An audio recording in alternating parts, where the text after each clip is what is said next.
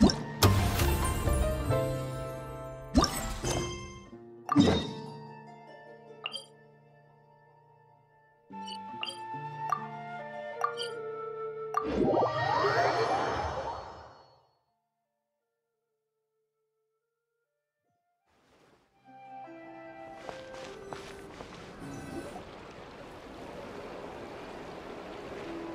Seriously? But, Mr. Morris, I don't understand, sir. How can you only be telling me this now?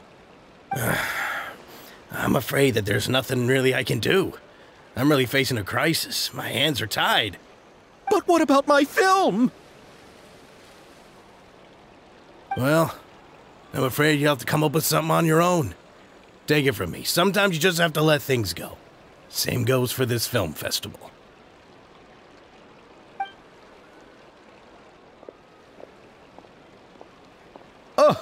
Oh. Hey, isn't that Xavier? So he's back in Fontaine now. Xavier! Oh, why, if it isn't the dear Traveler and Paimon.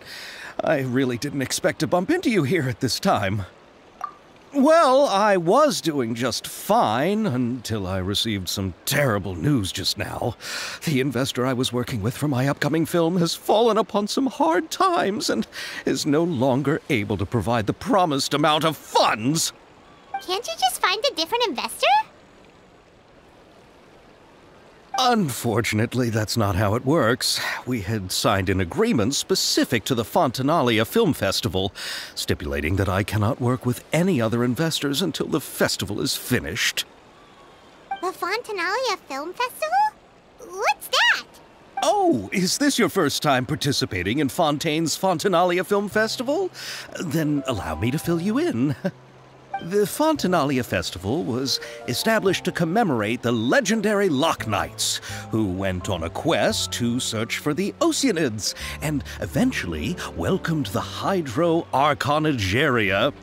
Uh, the holiday is deeply connected to the founding of Fontaine, as well as its unique laws and trials. It's one of the most important festivals for this nation. Expression on your face? It's like you're trying really hard to remember something. Ah, I was just trying to recall the exact description from the books, in order to avoid any uh, unnecessary arguments over semantics. I usually try to recite things straight from the source. Well, either way, Paimon thinks she gets it now. It's just like the Windbloom Festival in Mondstadt and the Lantern Rite in Liyue. Yes, those are festivals of a similar variety. Who doesn't like a good festival? And just like those of other nations, Fontaine will hold a plethora of events around this time each year. To commemorate the Loch Knights, people will imitate them by putting on special costumes, raising golden cups, and going door to door asking for pure water. But a few years ago, Lady Furina started to find the whole idea a little drab, and so decided to change the part about pure water to sweets. That really doesn't surprise Paimon at all. The whole thing seems more akin to a carnival now, and it's quite popular among the kids. Every year you can hear a bunch of them saying, trial or treat. Oh, that sounds pretty fun. But how does that connect back to the film festival you mentioned? Ah, yes, it appears I've strayed off topic. I just got too excited after seeing you. Let me get back to the point. The Fontinalia Film Festival is an event proposed by the Fontaine Film Association this year. Now that film technology has matured as a medium, it's the perfect time to introduce more people to the art form. During this time, people may submit films to be evaluated, and the entry with the highest score will be given the Furina Award by the association. The what award? The Furina Award! You know, after the Hydro Archon. They coined it while Lady Furina was still in power, but uh, even though things have changed, no one has made any motion to update the name. Perhaps everyone still thinks of it as a pretty appropriate name. Even though she isn't the Hydro Archon any longer, Lady Furina is still Fontaine's superstar. Anyone with eyes can see the way she shines on the stage. Ah, alright. Guess the name does work pretty well when you put it that way. Oh, but who would have guessed there'd be an issue with the funding? How will I ever explain this to Miss Chiori? Not to say all the other actors who traveled all the way here from Inazuma. Chiori? Uh, sounds familiar. Where have we heard that name before? Yes, that's her. I asked her to oversee the event's art direction, including the design of the actors' costumes and appearances. Oh, Paimon remembers now! Navia said that her clothes were designed by Chiori, and Kirara's outfit too! How to describe her? Uh, well, she tends to be pretty direct and can be very forceful when it comes to dealing with people. The fashion world in Fontaine has dubbed her the Thundering Seamstress. Her remarkable designs have led many Fontainians to become very interested in Inazuma. Anyway, Chiori is acquainted with all the actors I've invited from Inazuma. Without her help, I don't think I would have been able to get such an international cast for the film. She really is a kind soul. Who are the actors from Inazuma? Do we know them? Why don't the two of you accompany me to the Aquabus station to welcome them? Judging from the time, the Aquabus should be arriving shortly.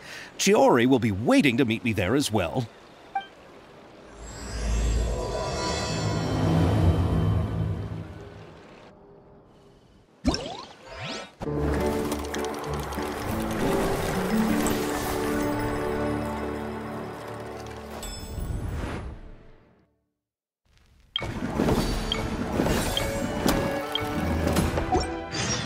Melusines are beautiful creatures.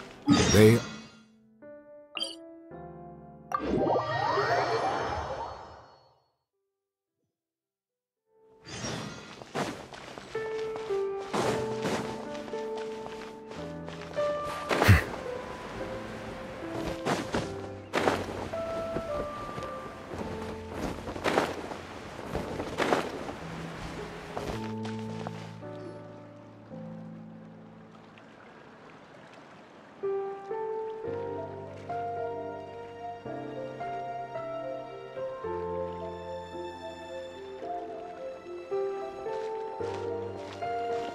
Miss Chiori? Your talk with the investor sure went fast. The Aquabus hasn't even arrived yet. Oh? And who are they? Ah, uh, allow me to introduce you. This is the Traveler and Paimon. Pleased to meet you. Likewise! We've heard the owner of Chioriya Boutique is a skilled seamstress, so it's a real pleasure to finally meet you in person. Why, thank you. I strove to create an outfit that matched her high social station as the demoiselle. So tell me, what happened? I can tell the conversation didn't go quite as expected. Ah, well, it's like this.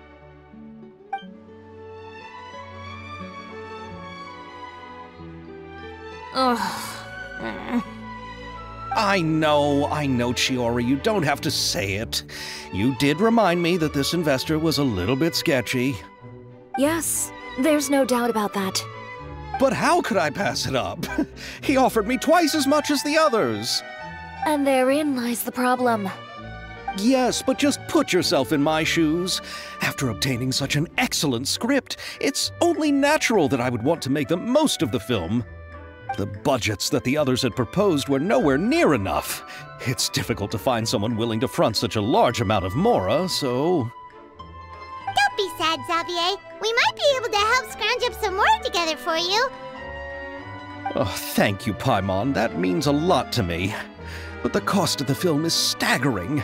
I'm afraid that any mora we can scrounge together in a short amount of time won't even be able to cover the actors' fees. We need to move on. What's happened has already happened, and there's no changing it. But now's not the time to give up. What? You're saying that you have a plan? No, that's not what I mean. I'm simply saying I wouldn't give up just yet.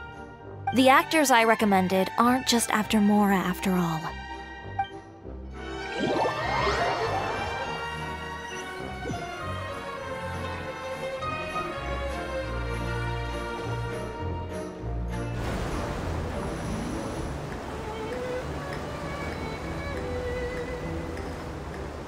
Really?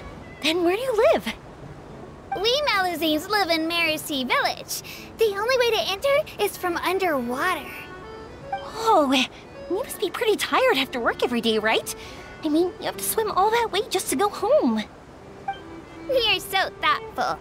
But some Melusines choose to live in the court of Fontaine because it's so much more convenient. This is our stop. Oh, we've arrived, but I haven't even finished chatting with Aval yet. I also enjoyed Aval's introductions to Fontaine along the way. Everything you described was so clear and detailed that we can't help but want to hear more. Thank you so much. I'm usually working here on the aqua bus, so I hope I'll have the chance to see you again. There are still many more places I'd like to introduce to you.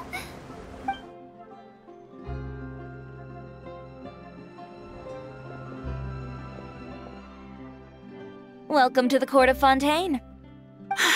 Chiori, you sure have changed a lot. This is the first time we've seen you since you left Inazuma. I haven't realized it's been so long. I was in such a rush when I left that I didn't even get to say goodbye. Thank you for extending the invitation, Mr. Xavier. I'm looking forward to a fruitful trip here in Fontaine.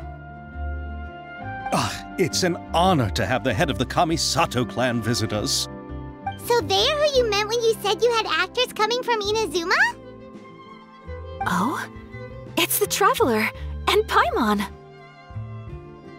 Wow, what a coincidence! Ayaka and I were just talking about you on the way here. Are you also here for the film? We just ran into Xavier earlier and came over with him. but I'm not an actress. Sir Kamisato and Lady Ayaka are the real actors here. I'm just tagging along with Ayaka to have a good time together. Uh, about that, I mean, how was I supposed to contact you when I was making preparations for the film? I figured you were probably busy and I didn't want to disturb you. So I could only keep you in the back of my mind while I sought other actors to play the lead roles in the film. I had been thinking about a surprise reunion with you during our trip here, but you still managed to surprise me first. Oh, so you all know each other already! My, what a coincidence! What are the chances everyone could be brought together here like this? Why don't we go to Hotel Debord and catch up over a meal? I've already made a reservation. Huh? Did you reserve two spots for us too? Yes, of course, of course. I'll be sure to tell the boss to serve a few more delicious dishes just to make sure there'll be enough food. Very well. Then please, kindly lead the way, Mr. Xavier.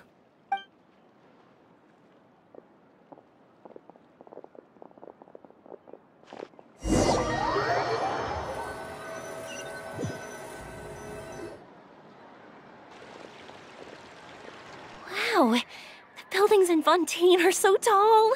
Just look at how big they are. And there's the fountain that Aval mentioned earlier. It really is a magnificent sight. And look at that huge spinning sphere. Where does it get its power? Wait a sec! Could it be one of those clockwork mecha we've heard so much about?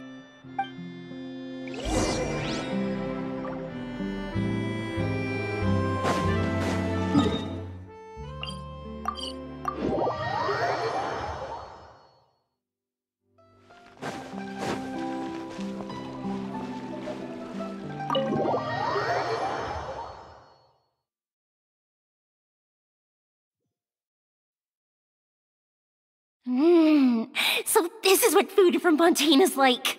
It sure is different from what we have in Inazuma. How should I describe it? It seems like you have to go through a lot more uh, steps to make them. And the flavor has many layers too. Ah, yes. When I first went to Inazuma, I actually thought the food there tasted a little too bland.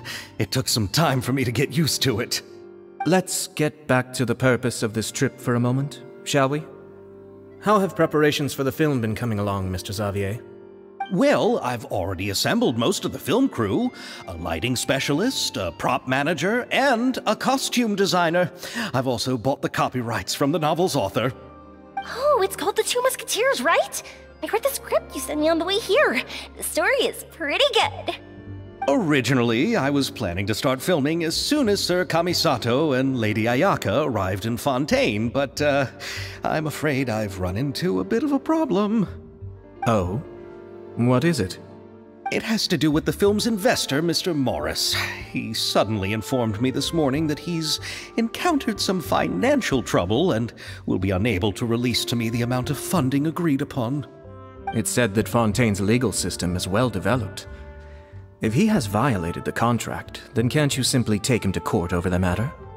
Ah, well, I'm still more concerned about filming. Even if I were to take him to court, I'm afraid it would take months before the case could even be heard. Then, is there a way we could raise funds ourselves to solve the problem?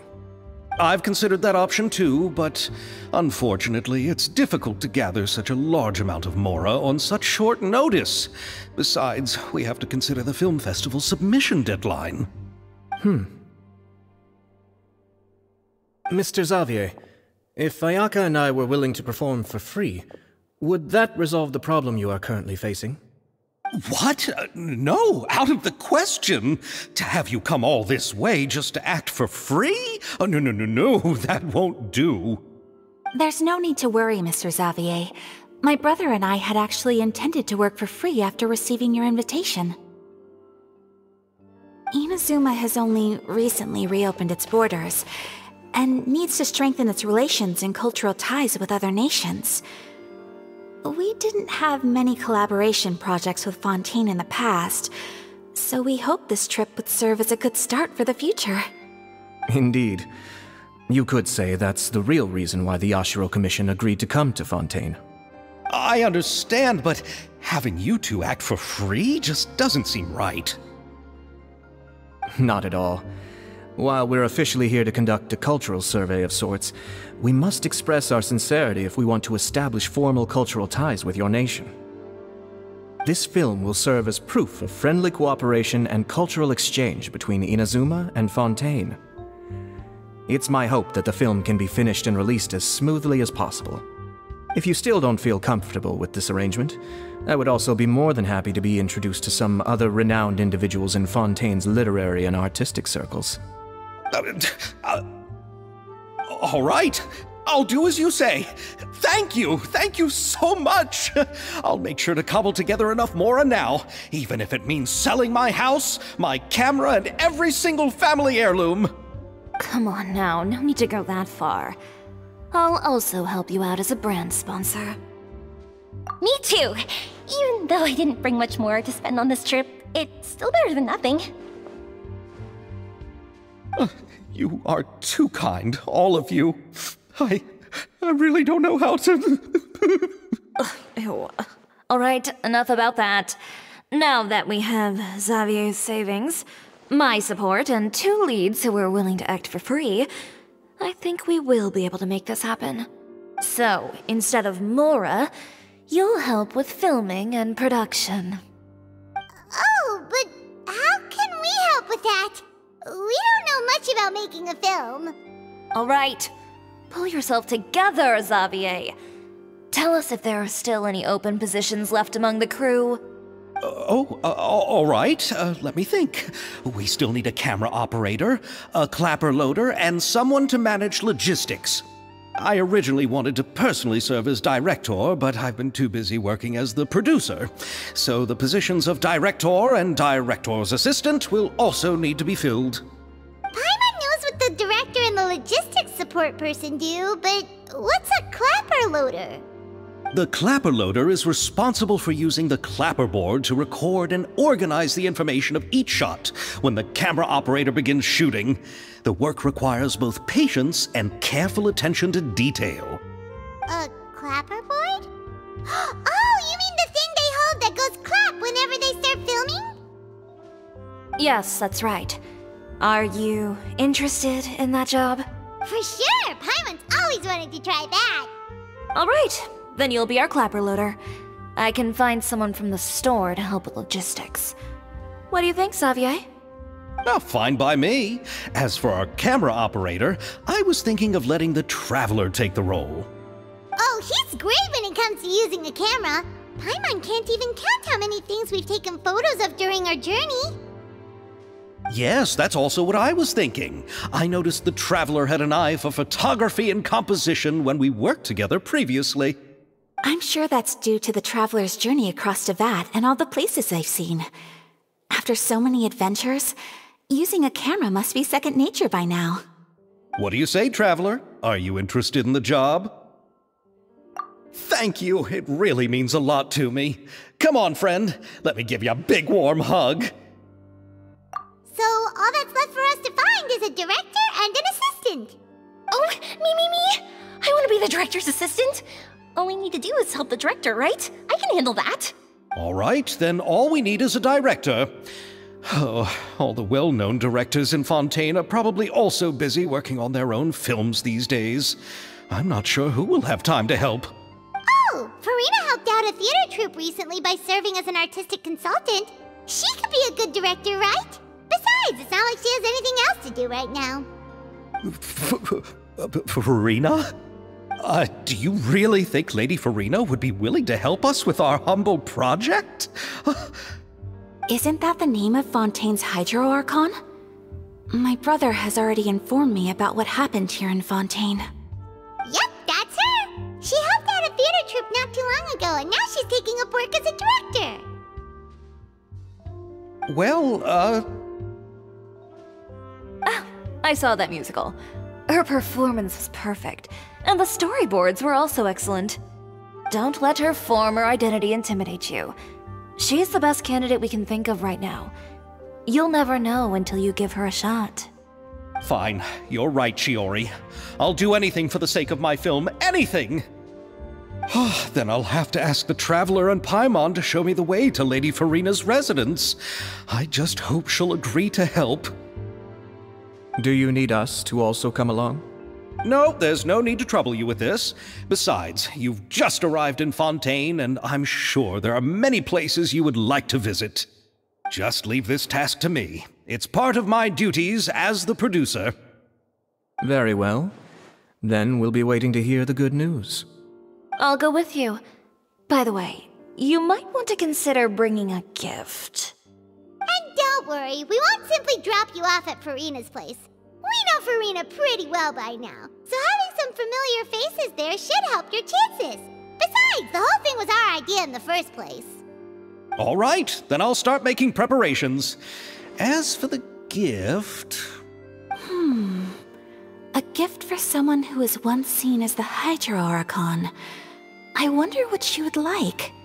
I recall that Lady Furina once fancied a clockwork ring, so perhaps I should get another exquisite clockwork contraption for her. Huh? Can't we just bring some desserts, like the Fontinalia mousse? Hmm, but wouldn't that be a little too cheap? She does like desserts, though. Isn't the Fontinalia Festival happening right now? I heard Abel tell us on the Aquabus that Furina introduced the tradition of going door to door and asking for sweets. To do something like that, she must have a real sweet tooth. I agree with Yoimiya. If the gift is too fancy, it might actually make her feel more uncomfortable. Alright then,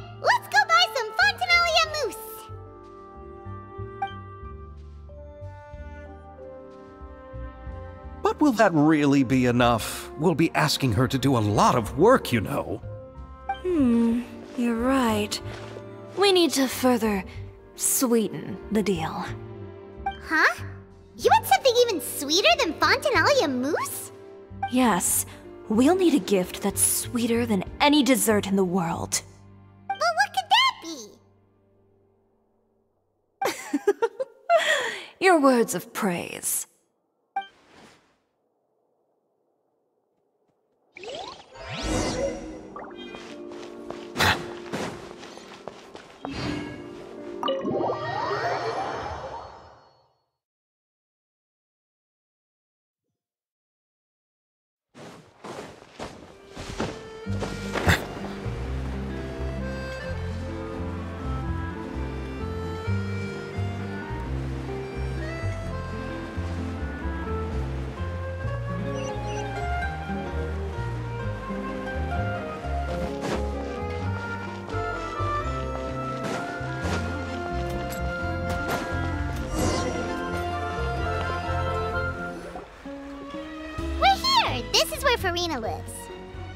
Okay, I'll go knock on the door.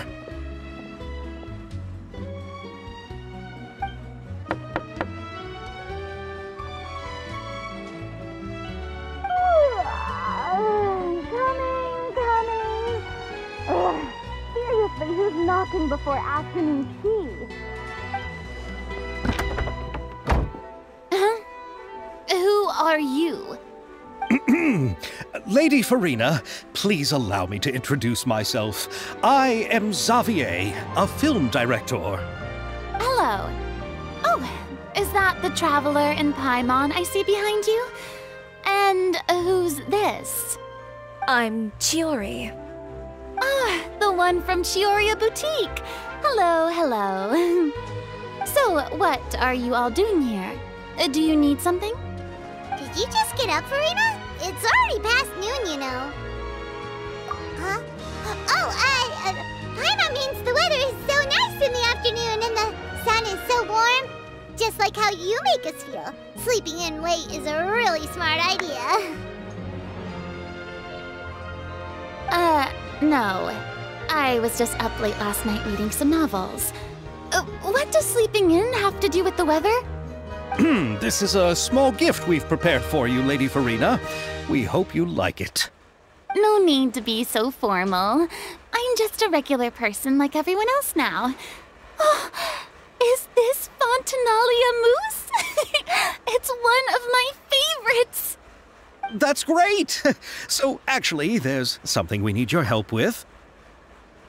Given your renowned passion and understanding of drama, I would like to ask that you serve as the director of our film crew. Oh, but didn't you just say that you're a director? Yes, but for this particular project, I'm mainly working as a producer. Besides, I'm sure that your understanding of the performing arts far surpasses my own, Lady Furina. Are the Traveler and Paimon also part of the film crew? Yep, we sure are. Paimon's the clapper loader and he's the camera operator. Camera operator. That can be a pretty technical job, and it directly affects the final quality of the film. Are you really up to it? No, I'm not questioning your abilities. It's just that I've never really seen you use a camera before. Maybe you can come up with a test for the Traveler and see for yourself. If he can satisfy you with his camera skills, then you'd have nothing to worry about and can join the team. What do you say?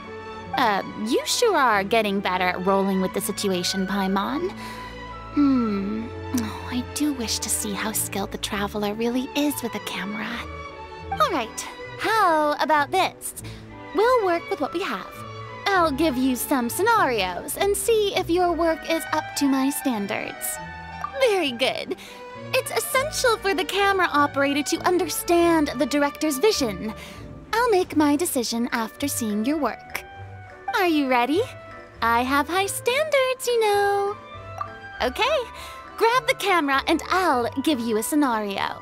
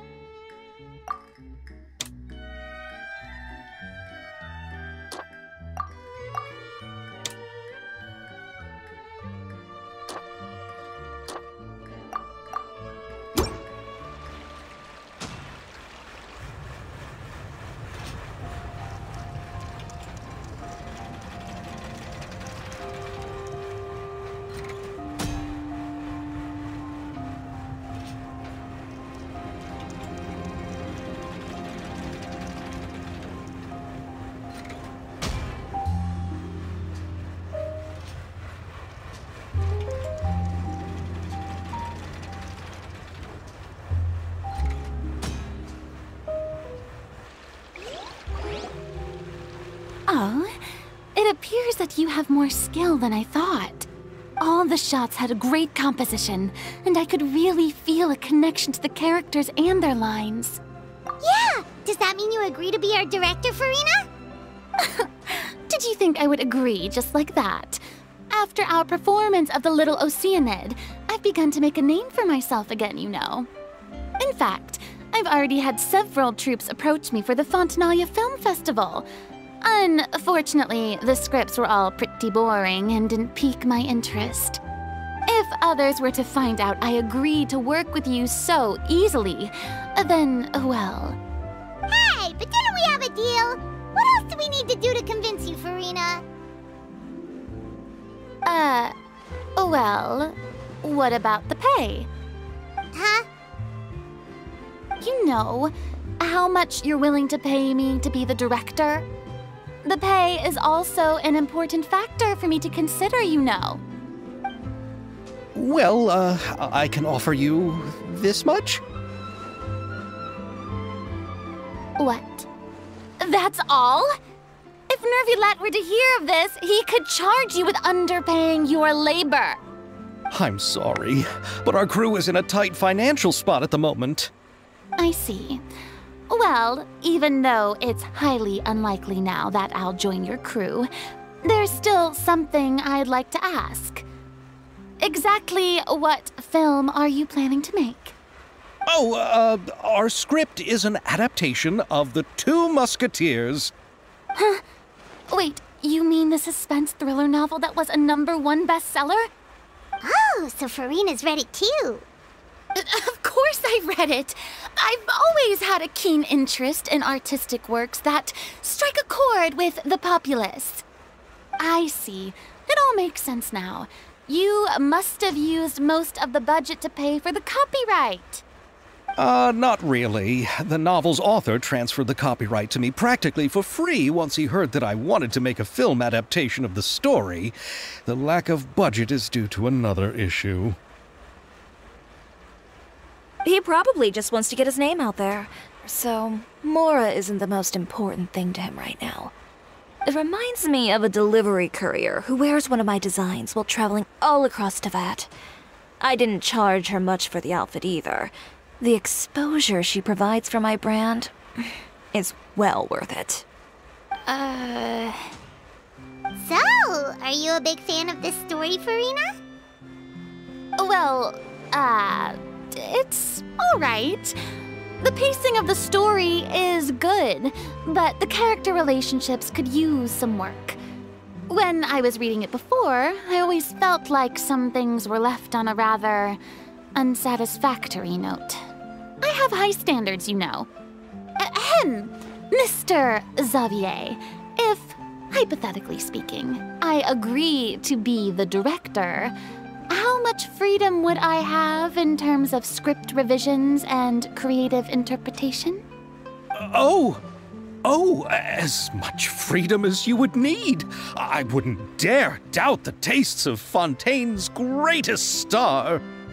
Good. Then I'm free to alter the script as I see fit. Absolutely no problem. Hmm. All right. It seems that your crew really can't go on without my care and direction. So, you agree? Yes, I agree. Although the pay is well below what someone of my caliber deserves, a great script calls for a great director. I mustn't let a perfectly good story be ruined due to lack of funds. If you have fine cheese and bread, you wouldn't just let it sit on the counter and get moldy just because you lack an oven, right? Oh, Hydro Archon above! I'm not dreaming, am I? Somebody pinch me. There's no more Hydro Archon, you know. And it's still a little early to celebrate. There's a lot that goes into shooting a film. Although the trickiest tasks of finalizing the script and casting the actors have already been taken care of, we'll still need to reserve filming locations. Not to say set up lighting and props. And uh, by the way, since we'll be filming The Two Musketeers, we'll need to find an action choreographer. Ideally, a professional who has actual experience with muskets. Yes, I've thought about this as well. I was hoping that you might know someone who could handle the job.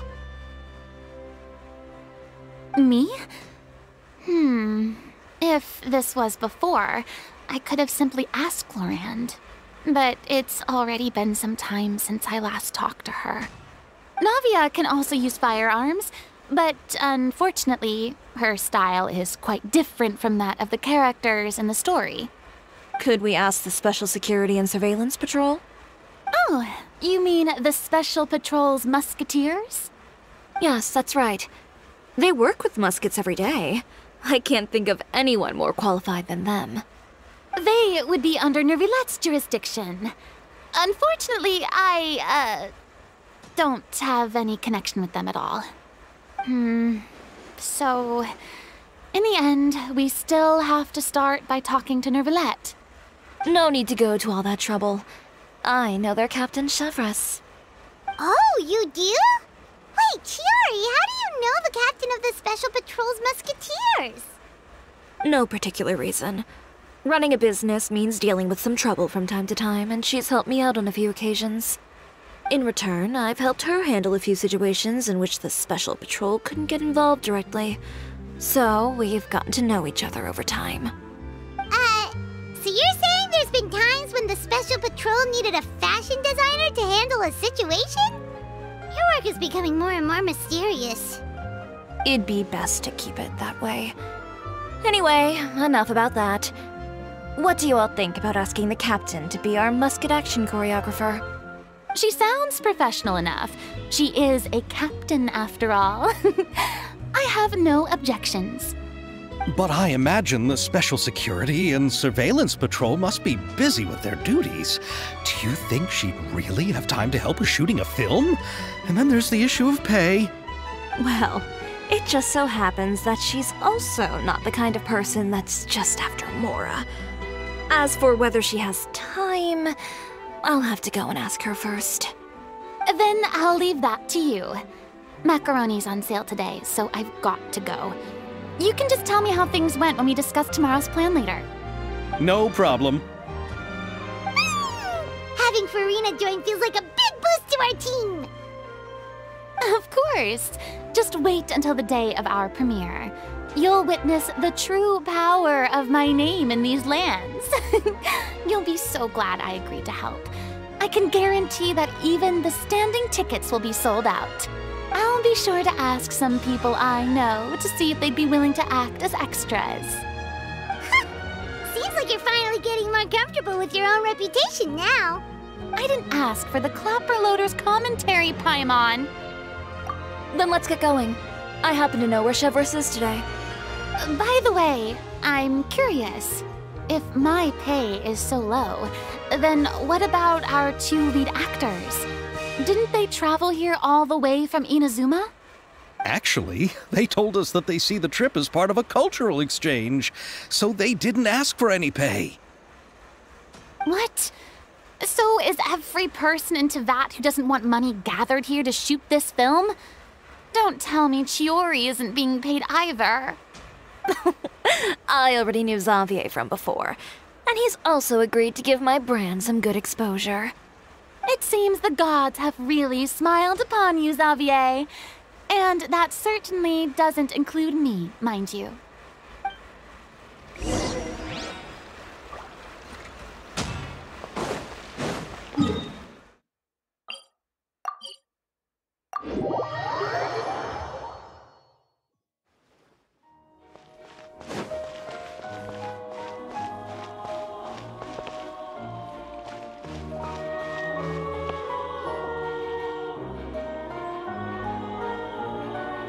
All right, this is the place. Hmm. But where's the captain? There's hardly anyone around here. She's over there. The one with an eye patch reading in front of the newsstand. Oh, her! Paimon could tell there was something different about her. She seems kinda intimidating. Please wait here for a moment. I'll go fetch her. She's working now, so you might not want to get in her way. Working? But isn't she just standing there and reading a novel? Just trust me. Oh, alright, let's see what happens then. Chiori sure is a mysterious person. She claims just to be a fashion designer, but she knows all these powerful people. The court of Fontaine isn't particularly tolerant of visitors from overseas, so it isn't easy for a foreigner to promote their brand here. Even more so in the competitive world of fashion. Even a local like me just trying to make a film has to face all kinds of challenges. So I can only imagine what Chiori has been through to get where she is today. I'm sure that having more connections has definitely worked in her favor. Reading on the job? Detective novel. One main character? No. Multiple. Branching storylines. I see. How's the plot coming along? One of the main characters is about to make a choice that will affect the rest of his life. I'd wager he's going to make the wrong choice. Any way to speed things up? There's something I need your help with. You know that doesn't depend on me. It all comes down to what the character chooses. Which is exactly why I'm here to help.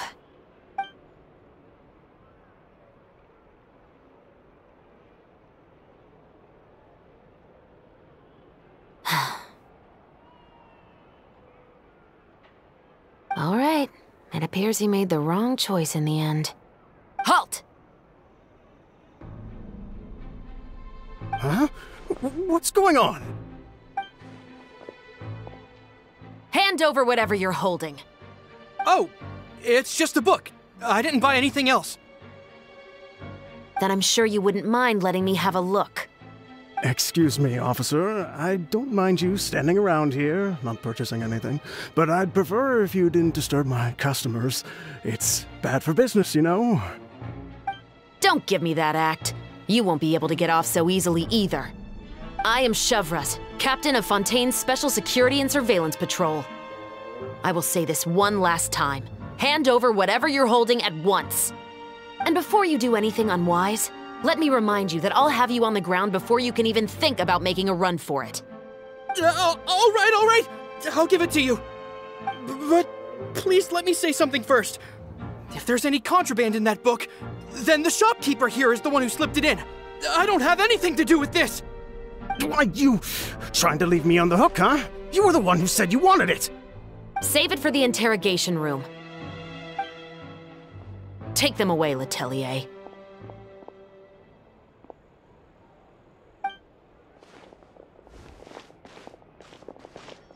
What's going on here?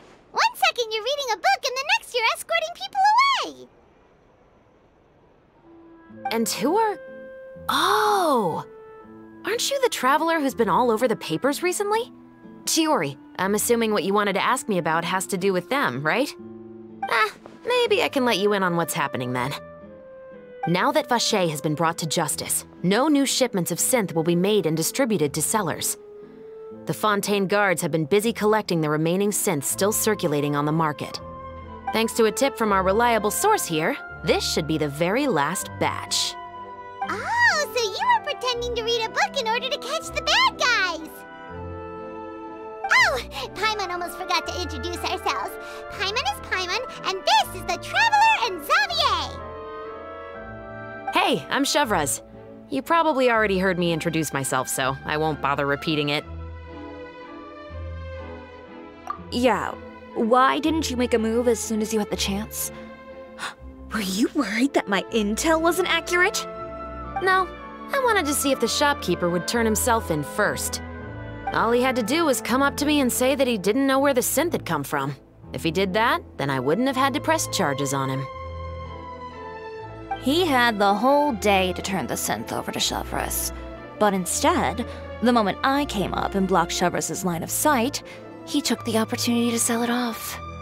Yep, he made the wrong choice, even though the right choice was right there in front of him. But you knew they wouldn't make the right choice. Yeah, I knew. I was just hoping I'd be wrong for once. Uh. Enough about that, though. What did you want to ask me about? oh, you see, it's like this.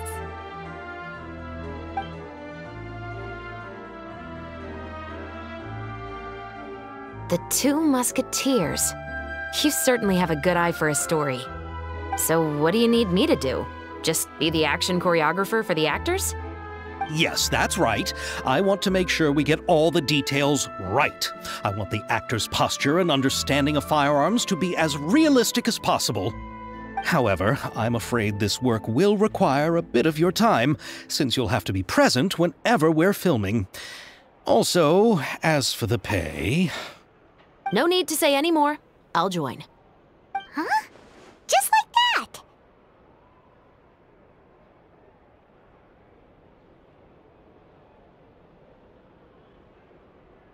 Really? You're willing to help us with our humble film project? Sure, it's no big deal. As I said, we've wrapped up our investigation here, so I don't have any other tasks on my plate for the moment.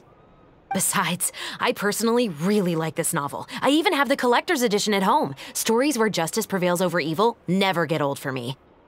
Then we've got a deal? Yes, I'll see you on set tomorrow. Oh my! I can hardly believe it!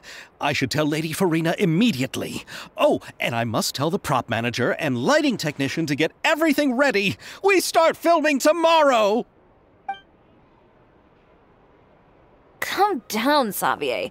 The film is going to take more than just a day to finish. Still, I should also head back now and start preparing the actors' costumes and makeup. Alright, guess that's it for today then. Traveler, Paimon, please stay for a moment. I have something to tell you. Then I'll take Xavier back. Poor thing. He's so excited that he can't even walk straight anymore. I don't want to spend our first day fishing our producer out of the fountain. Yep, see you tomorrow.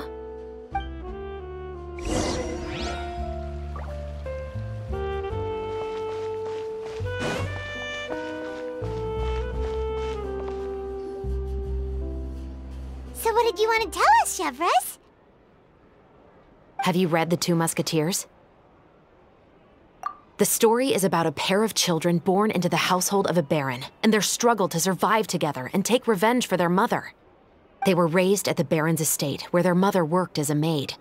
The two were illegitimate children that the baron had with the maid, so they were never treated well by anyone. One day, upon returning home, they found their mother had been murdered and left dead on the floor. It was quite evident that the culprits were the other members of the Baron's household, who never had any kind words to say to them. However, the Baron was able to exert his influence and keep the whole thing under wraps. The mother's death was eventually deemed as a suicide, and there was no chance of bringing her murderers to justice. The two siblings decided to flee and someday avenge their mother.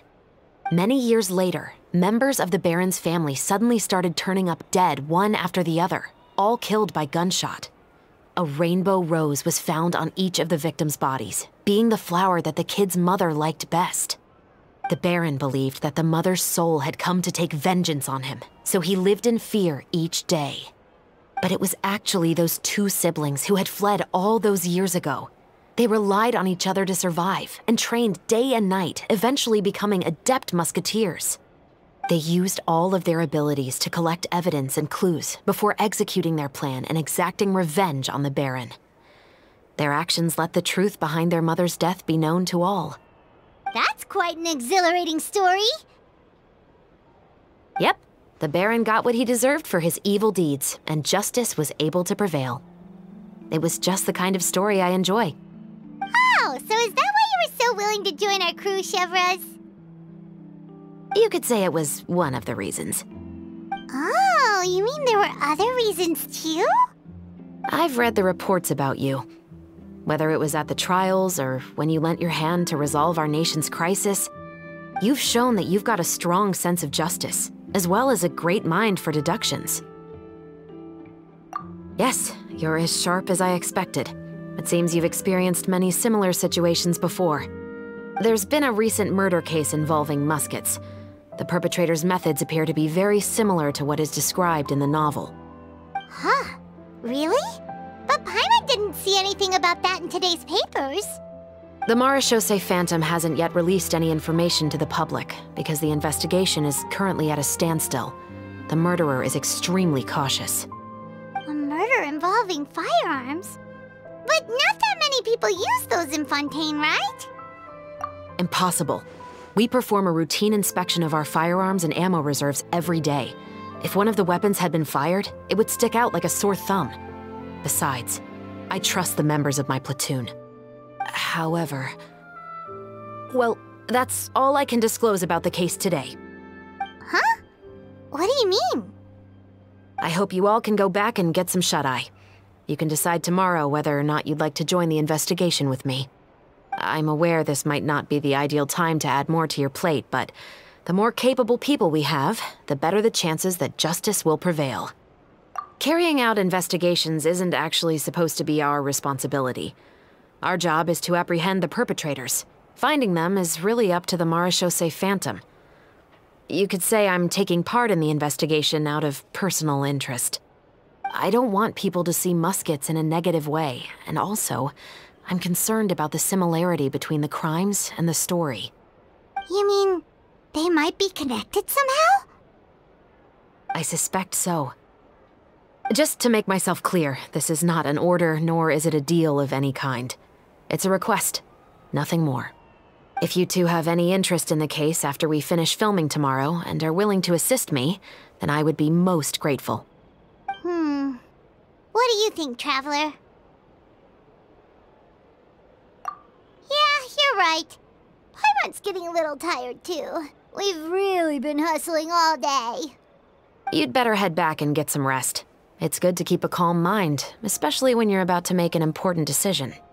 Otherwise, when the moment comes, you might end up like that shopkeeper and not even realize that the right choice is right there in front of you.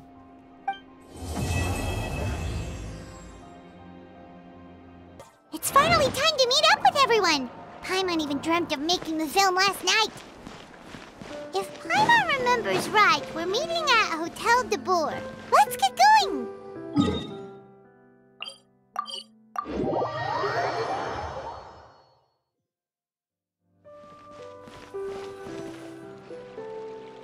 Ayaka! Yoimiya! You're already here! Good morning. Xavier said yesterday afternoon went well. Yeah, and how Ayaka? What were you up to yesterday? After we split up, Ayato went to see Iudex Neuvillette at the Palais Mermonia. I was originally thinking of going with him, but he said he could manage it himself. He told me to go see the sights around Fontaine and to enjoy the local culture. So I rode the aqua bus with Yoimiya and visited the Opera House on Aranias Island. Yeah, you wouldn't believe what we saw there! Two mechanical puppets that were dancing together! You've already seen them, right?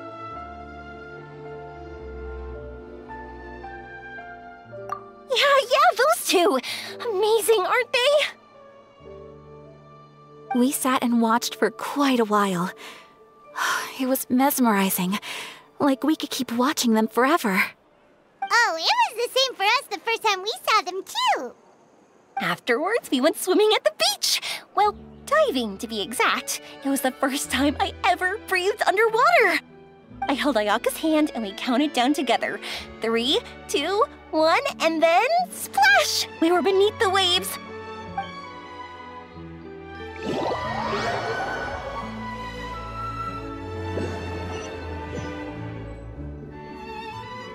At first, I didn't dare to open my mouth.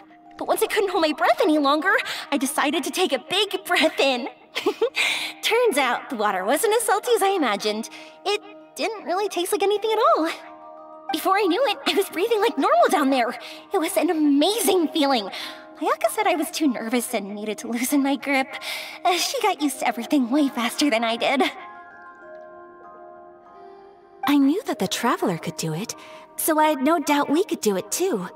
That helped me feel at ease as soon as we dove in. The underwater world in Fontaine truly is beautiful. I love seeing the romaritime flowers blossoming underwater, like little candles lighting up the streets at night. Yeah, and there were so many creatures that we've never seen in Inazuma. Like those fish that shimmer like a sword blade. Whoosh! Oh, and those big fish that call when they see people. You mean Hunter's Rays and Blubber Beasts. I just love the name Blubber Beast. Ah, Just wait till Pops and the others hear about this. They probably won't believe a word I say.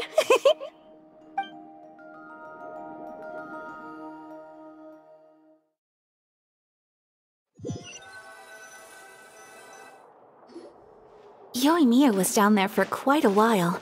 It was dark before we finally rode the aquabus back to the city. I figured she'd want to sleep in today. yeah, even I was worried that I wouldn't be able to get up. I still felt like I was drifting in the waves when I went to sleep last night. But as soon as I woke up today, I remembered that we'd all be shooting a film together, and I was ready to go.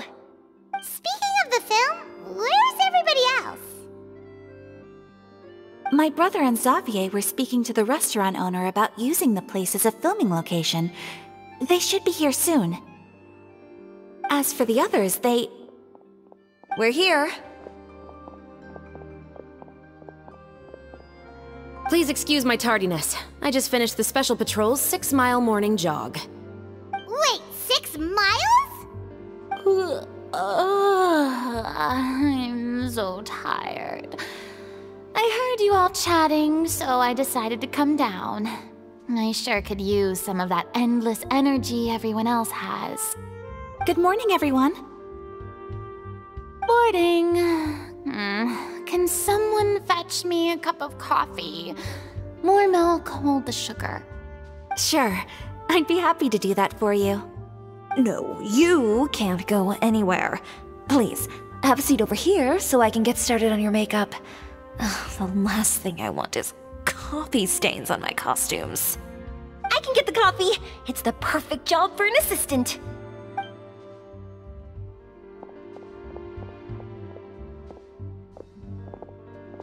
Ugh, so much energy. Seriously, what's her secret? Oh, Yoimiya's always like that. But you sure look exhausted, Furina. It's because you're not used to waking up so early, huh? Of course not. I spent the whole night reading the novel from cover to cover, marking sections that either need to be omitted or adapted. Wow, Paimon didn't expect you to be so thorough.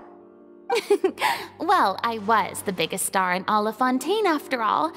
It takes more than just a pretty face to earn a reputation like that. I know how to get serious when the situation calls for it. I went all out when I was acting as an Archon, so why wouldn't I do the same for my own life?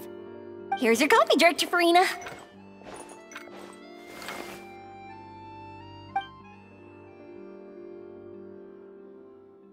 Oh, thank you. the sound of being called director and the aroma of coffee feels almost as refreshing as hearing the birds chirping in the morning. Ah, it seems everyone has managed to arrive on time. We've reached an agreement with the restaurant owner. We are free to use the second floor to shoot our film. Really? That's great! He is really looking forward to our film and hopes that providing his restaurant as a filming location will attract more customers. Well then, Mr. Xavier, I'll leave the rest to you. Okay, thanks. First, I'd like to introduce our new members. This is our prop manager, Veronique. She'll be in charge of all the film's props and items. And this is Bono, our lighting technician. He'll be in charge of lighting and illumination to set up each scene's atmosphere. Wow, sure feels like we have some real professionals joining the crew now. First of all, please allow me to first express my sincerest gratitude to everyone in the crew. When my investor informed me yesterday that he wouldn't be able to provide the funds, I really thought that this was the nail in the coffin for this film. I had no idea that I'd find so many people willing to help me on such short notice. Thank you. Thank you all from the bottom of my heart. No need to be so cordial, Mr. Xavier. We're all honored to be a part of this. Your works made a profound impression on me when I saw them back in Inazuma. I am sure that someday, this film will be remembered as a prime example of cultural exchange between Fontaine and Inazuma. Yes, the story is the reason I agreed to join.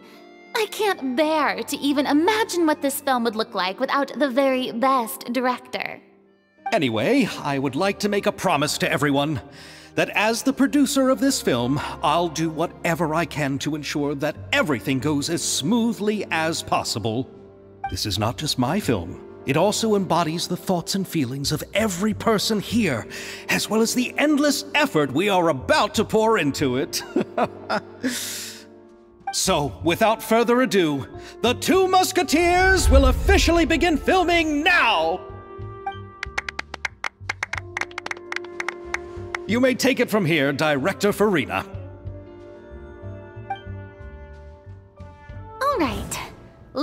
Everyone. The first scene takes place when the two young musketeers are living at the Baron's home, still unaware of all that is about to happen to them. We'll need props and lighting to set the scene. Our lead actors can go get their makeup done, and extras, please take this time to go over your positions. Whoa. Seems Furina's really kicking things into gear as the director. Is everyone clear? I don't want anyone traipsing around the set like umbrella finches. All right, cameras will start rolling as soon as the set is ready. Let's make a film that'll make some serious waves in Fontaine. Uh, not the kind of waves that drown people. I mean, the good kind of waves. uh, seems like she's still a bit traumatized by that. Anyway, let's go see if there's anything we can do to help.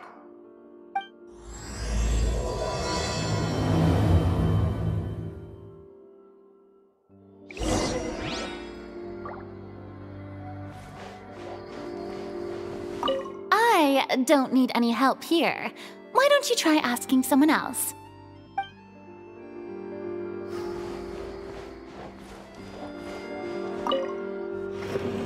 How about here? Uh, a little more to the left. You got it. Hey, Yoimiya, do you need a hand? No, no, I'm fine. You know, doing the lighting is kind of like designing a fireworks show. It's interesting to imagine what kind of atmosphere the lights will create. I heard that the Traveler will be operating the camera and Paimon will be the clapper loader, right? Those roles are just perfect for the two of you. Really? Is that because it'll be easy for Paimon to hold the clapperboard while flying? Well, sure, there's that, but that's not exactly what I meant. I just think that after all your journeys together, you two must have developed a super close bond and just naturally know how to work with each other. If I'm not mistaken, the director will want the cameras rolling as soon as the clapperboard goes clack. Oh, I see! it's amazing to see the magic behind filmmaking. Yoimiya, we need lights over there, too. Oh, on it! I've got to get back to work. Chat with you later. Oh, it's exciting to see so many people working together to bring the film to life. Seems like Yoimiya's really getting into it. But she was right. We do have a super close bond, don't we? Paimon's really happy to hear that.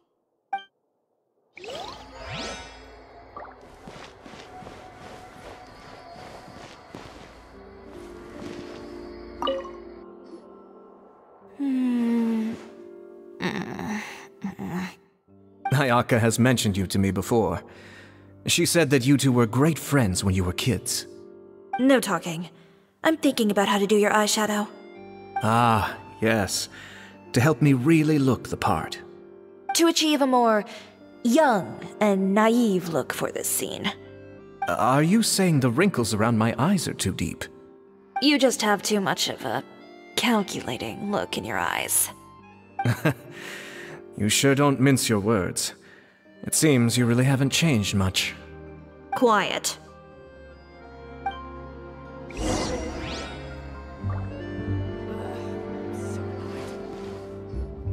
So, this is a real musket? No, it's just a prop weapon. Not bad. Have you seen a real musket before? Only in books and newspapers. I made this one based on the relative shape and proportions I saw in reference images. When we're filming, some special gunpowder will be applied around the muzzle, which will help create the flash and smoke effects of a real gun being fired. Which means it'll be up to the actors to portray the recoil. That's right. The sound effects for gunshots will also be added in post production. Thank you, Veronique. I think I know where to start now. However, the musket's gears and firing pin could still use some work. Adding some wear on the metallic components will make them appear more realistic. Also, be sure to rub the muskets with some oil each time before we start shooting. That'll give the impression that the firearms have been well maintained. Good point. You seem to know a lot, Miss Chevreuse. I assume you use these types of firearms on a regular basis? Yes, I perform routine maintenance on my weapons every day. Just like we as people need to eat and sleep, muskets need to be cleaned and maintained. I also perform similar care for my sword every day, and familiarize myself with its shape and weight, to the point where it feels like a natural extension of my body. Yes, this way, our weapons will never betray us in the heat of battle. Yes, well said. It seems we have the same philosophy on this topic. Oh, sounds like they found a common interest to talk about. Though these props differ from the muskets I use, I can still give you some pointers. Good. I look forward to your instruction. First and foremost, never point the weapon at anyone, regardless of whether it's a real or prop weapon or whether you're holding it or it's on the table. This holds for any time when you're not actively engaging an enemy. Okay, understood. When aiming the musket, extend your arm so that it's level with your shoulder, and use your eye to look down the weapon's sights. Like this? Not bad. Now, try saying your lines. this is the end of the road for you. Good. Now turn your body a little. That way, you'll give your enemy less of a target to work with. And relax your shoulders. Here, allow me to demonstrate. This is the end of the road for you. Huh. Excuse me, Miss Chiori. Director Furina, there's something I wish to discuss with you. Oh? What is it? Like this? Yes, much better. What do you think? Hmm. I do see your point. But are you sure you wish to do this? I believe it would be most fitting. Well, if you insist. All right, I understand. Miss Ayaka, Miss Chevreuse, could the two of you please come over here? Huh? What's going on? Are we gonna start filming now? Let's go see. What is it? I have a question for you, Miss Chevreuse. Would you be willing to play the role of a musketeer? Uh, what? To clarify, I would like to turn over my role to Miss Chevreuse. But, brother... Don't worry, Ayaka. I actually view this as a good thing. I was becoming troubled trying to set aside some time to speak to the staff at the Palais Mermonia. I would like to have some conversations about the cultural exchange between our two countries, and I've heard that the bureaucratic process here can get rather complicated. Now, I will be able to focus on my work. Besides, you also know that I'm not really one for public performances. Are you really sure? From a director's point of view, I also felt like the relationship between the two musketeers in the original story could be improved. The older brother in the story plays the lead role with his overbearing character, but this causes his character to overshadow that of his sister, and the theme of the two supporting and relying on each other isn't conveyed very well. But if we were to change the siblings to two sisters of a similar age, then that aspect of the story might come through more clearly.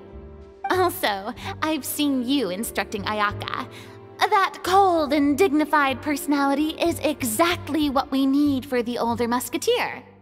Of course, even with all these insights, the decision should still be made by Miss Chevreuse. Uh. Chevreuse mentioned that she really likes the story, right? Paimon bets that she'll take the role. All right, I'll take the role. Good. It's decided then. I'll get started on making edits to the script. Uh, We'll also need to make some immediate adjustments to the lighting, props, and costumes. I have a feeling that our adaptation will be even better than the original story. You're doing a great favor for me, Miss Chevreuse. You have my gratitude. Don't mention it. I like this character, so if anything, I should be the one thanking you. Well, since my brother is the one who brought up the idea, I suppose there's no need to worry. Let's go, Miss Chevreuse. I look forward to working with you. Please, just call me Chevreuse.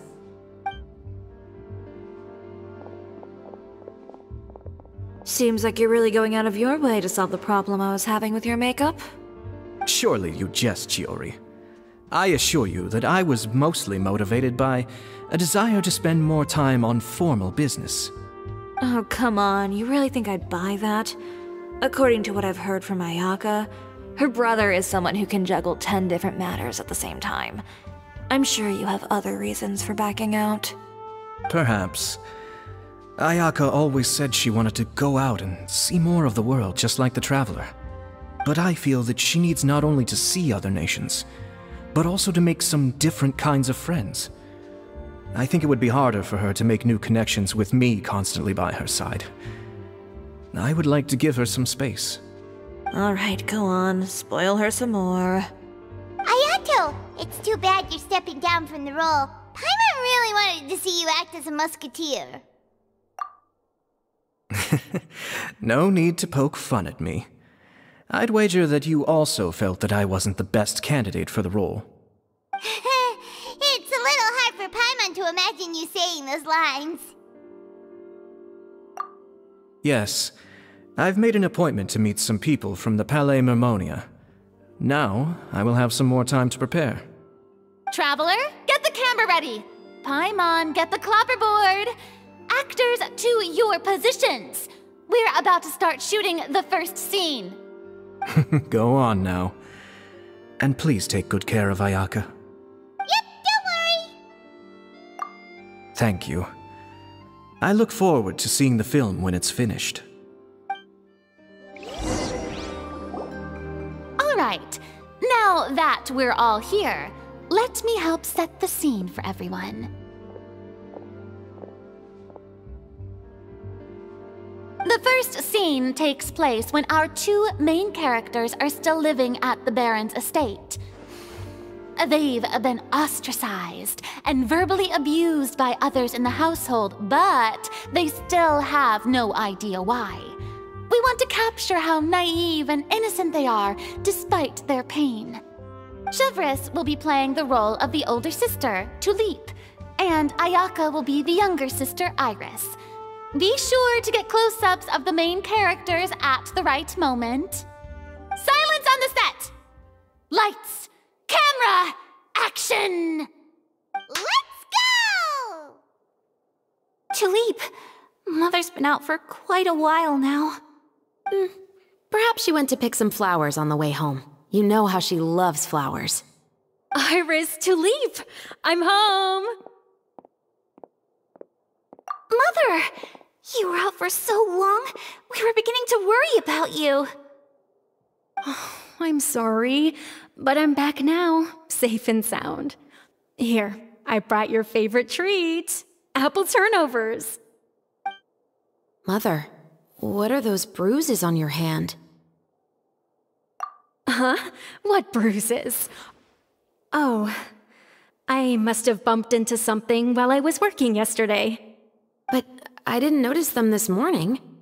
Then perhaps they're from when I accidentally tripped when I was out just now. By the way, did you have fun playing at home? What's the matter, Iris?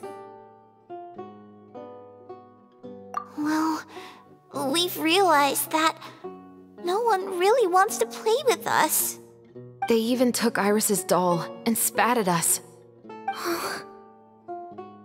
And they even called us names. They said we were. Shh. It's all right. Don't worry. Girls, listen to me. It doesn't matter what anyone says. Don't listen to them. No one can define you with such words. You both have wonderful lives ahead of you. Just like your names. You will both blossom like beautiful flowers. Maybe your time to blossom hasn't quite come yet, but one day, you two will bloom more beautifully than anything else. Don't let the soil you're in now ruin your future beauty. Understand? My dear daughters. And cut! Not bad. The actor's emotions were all on point. Let's keep that take. Also, if our clapper loader could avoid shouting at the start of the scene next time. Oh, uh, got it. Great. I was a little worried that my nerves would get the better of me. What about you, Chevreuse? I felt fine. The lines weren't too difficult at all. Seems like Furina must have adapted the role nicely. you two were great. I couldn't tell it was your first time acting in a film. You should have more confidence. Thank you for your encouragement. Positions, everyone! We'll move on to the next scene after we try a few more camera angles.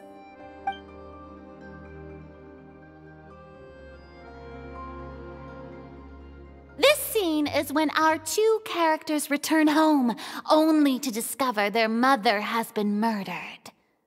Ready? Lights! Camera! Action! Mother, we're back. Mother?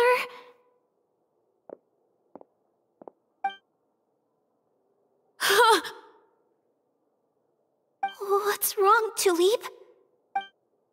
Iris, stay away! Huh? Why? What's... Mother!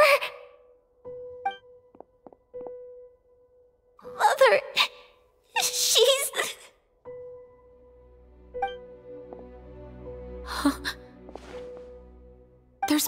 poison in this cup. Huh? I could have sworn I've seen this kind of cup before. Those aristocrats. They didn't even try to cover up their actions.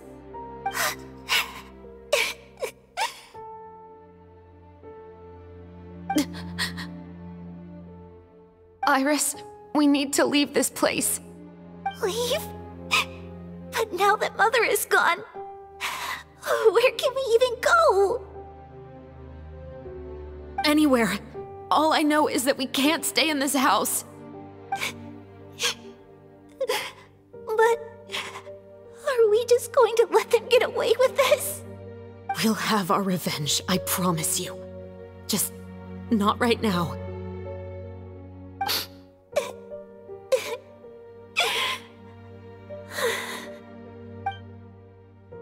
Come on, let's go.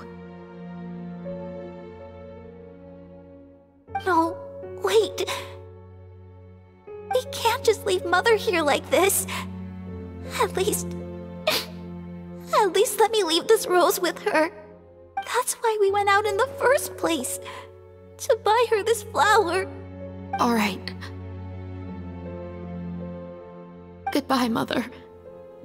We'll avenge you. Someday. And cut! Beautiful! Great performance! Oh my, you're so amazing, Ayaka! And were those real tears I saw? How did you do it? I was surprised too. Thank you for the kind compliments.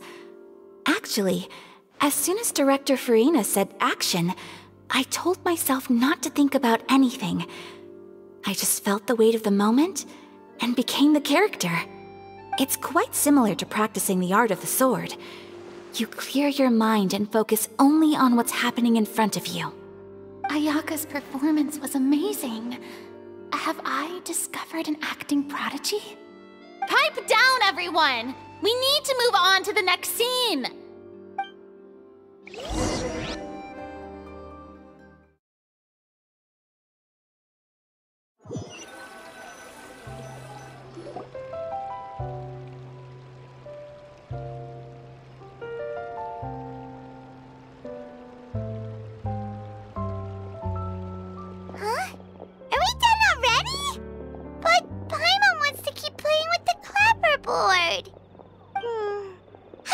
Traveler? Is your arm sore from holding the camera all day? Good work, you two. You too, Chevreuse. You were quite the actress today. I've read this novel many times before. I have a good grasp of my character's mindset.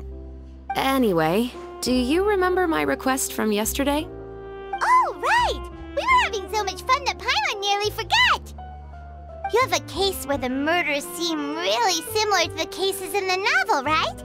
So, uh, how are they similar exactly?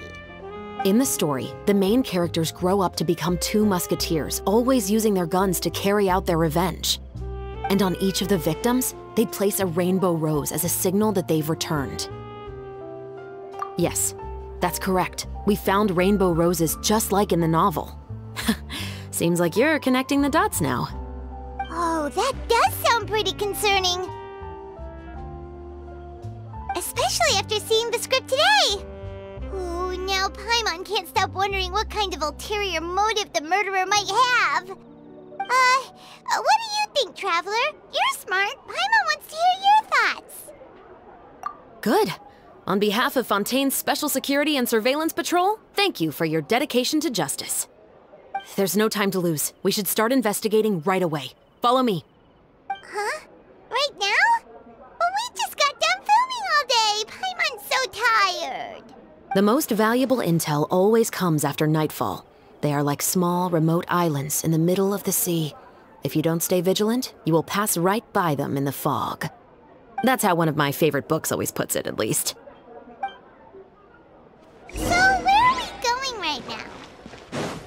Let's start by checking out some workshops that sell mechanical components. If the culprit is making their own weapons, it's very likely that they'll visit those sort of places.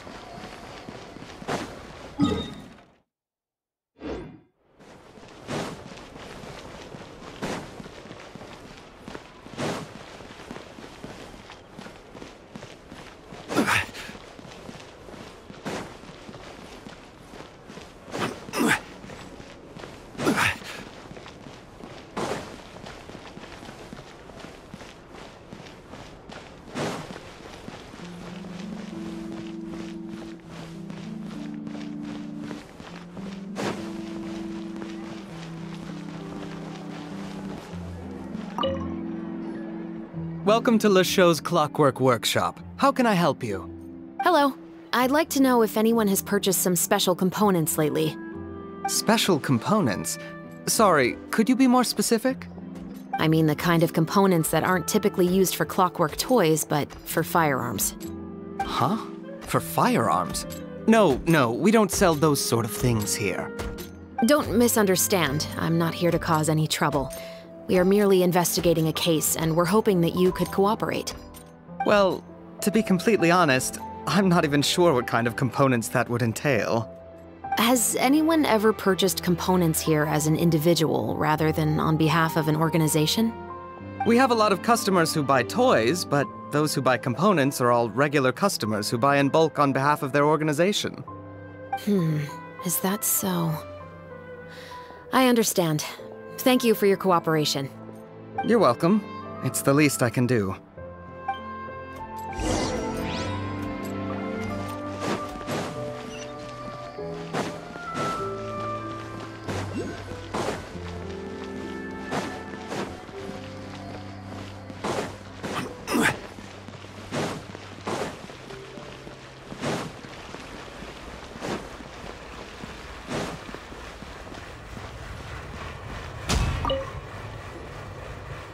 Chevreuse.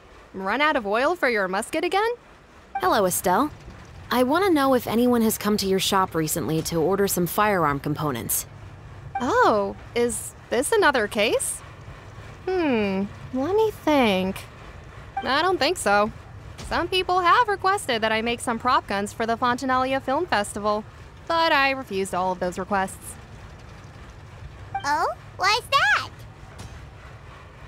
Because there's no profit! I only make things here that can do some real heavy lifting. I don't have the energy to make some new molds just for the festival. Then, has anybody come specifically looking for mechanical components? Well, hmm. I usually sell off my scrap to the Fleuve Cendre. I don't typically give them to one specific person. I understand. Thanks for your cooperation. Don't mention it. Always happy to have the Musketeers' patronage. Seems like we haven't found any leads to go off yet. Yeah, unfortunately. All right, let's head to Fleuve Cendre next. Huh? Are you sure? Uh, people might not be so thrilled to see the captain of the special patrol there. You think so, huh? Then I guess you don't know. Huh? Know what? That I grew up in Fleuve Cendre.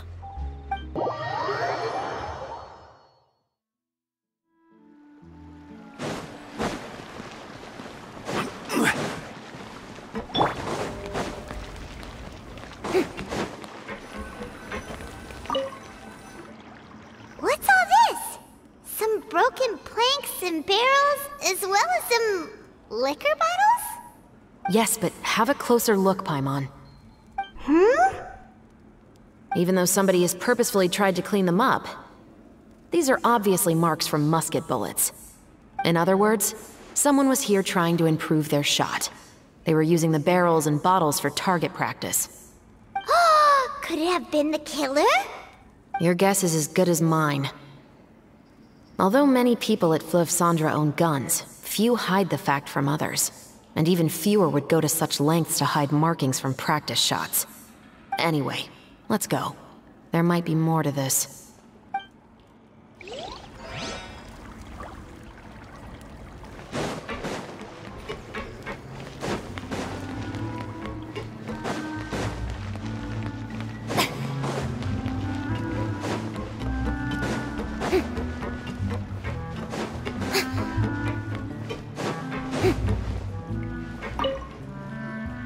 Hello, I'd like to ask some questions. I don't know anything. Don't worry, I'm not here to arrest anybody. You say that now. It's the truth. Here, take this as my guarantee. Wait, did Paimon just see what she thinks she saw? Is the captain of the special patrol bribing a citizen? Seems you're different from the other guards. What do you want to know? Have you heard anything related to muskets in Fleuve Cendre lately? Anything at all? Muskets, huh? All I know is that about two weeks ago, we started hearing some loud noises at night. So loud that it's been waking me up. Were they gunshots? Possibly. It's hard to tell around here. Someone's house collapsing, a pipe exploding somewhere, it's all the same. But the noises I'm talking about definitely happened after I fell asleep. Do you know where the noises were coming from? I don't remember clearly. Is it that you don't remember, or that you need to think about it some more? You tell me. Then please, think about it some more. She's giving her even more Mora! The noises came from the end of the Southern Waterway. I came out and had a look for myself and I wasn't sleeping well, but I didn't dare get too close. That's all I know. All right, I'll take your word for it. Thanks for the pat de fruits.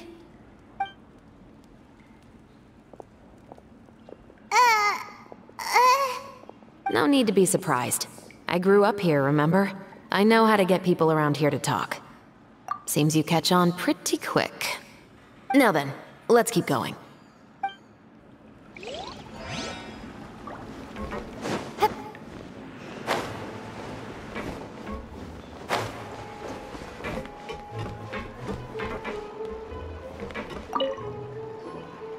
It's been a while, Tetro. Please, just get on with your request. I want to know if you've heard anybody talking about muskets lately. Information isn't free, you know. I've heard that bandits have been extremely active in the countryside recently, and they've been affecting the delivery of goods to Poisson.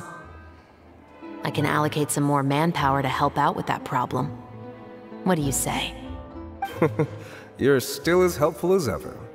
One of our men got drunk at dinner about a month ago and lost his gun. Three days later, it turned up in the corner here.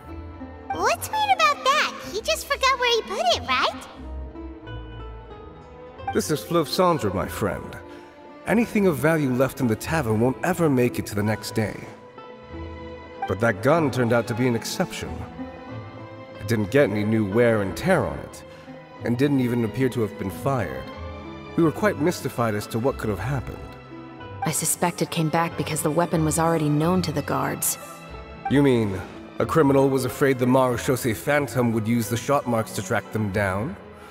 Maybe. But if that's the case, the culprit really took great care to avoid getting caught. I didn't say anything about a criminal. In Fleuve Cendre, knowing who was killed is as easy as knowing what clothes you're wearing today. It's the guy living in the east side, isn't it? I've never liked him. Every time he's here, he just orders a drink and sits there with a nasty look in his eyes. So, who was the one who lost the gun in the first place? Eh, don't bother. Even if you ask, he wouldn't admit to owning a gun to some strangers. Not to mention the captain of the Special Security and Surveillance Patrol. He's right. I know you grew up here, Chevreuse. Even though you're on good terms with the Spina, you've still been gone too long. Not many people know you here now, and a lot of people don't like the Special Patrol. I know. So take my advice and don't show your face too much around here. It's for your own safety. I'll come and go as I please, and I'm afraid I'll be appearing more often due to my work. All right. Don't say I didn't warn you. Seems like that's all we'll be able to uncover for today. Paimon feels like we managed to learn a lot more here than up on the surface. Yes. Assuming that everything we found is indeed connected to our suspect, then their timeline was probably something like this. A month ago, our suspect found a gun and took it home to disassemble it. Once he'd figured out its mechanics, he brought it back. In the following weeks, he used some parts to create his own makeshift musket and took it to the Fleuve Cendre for target practice. Then, a few days ago, he found his target and carried out the murder. Once the deed was done, he left a rainbow rose on the body, just like the scene in the novel.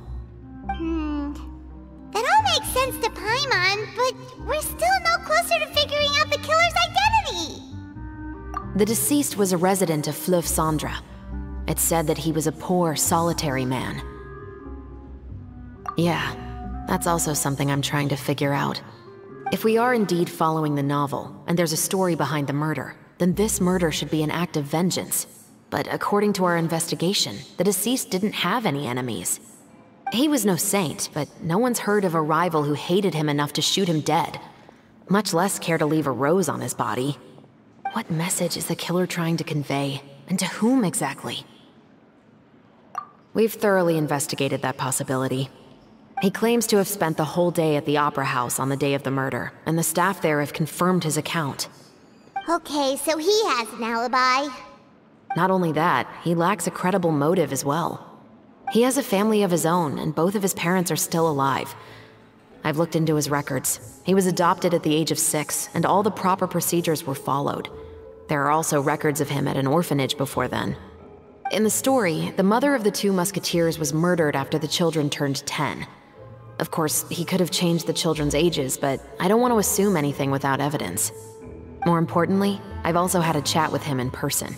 He didn't seem like the kind of person who would pull the trigger to kill a man. Then, what should we do now? We have all this new information, but it doesn't help us move forward. Investigations take time. I didn't expect us to catch the culprit in just a single day. How about this? Let's spend the next few days filming with the crew. We can continue the investigation once we're done with the film. I'm sure that given time, new leads will present themselves. Wait, but weren't you saying Intel is like small, remote islands in the middle of the sea just a moment ago? Wouldn't you just miss them if you were to stop looking? Ah, but the book had more than one reference to the islands, Paimon. Oh? What else did it say then?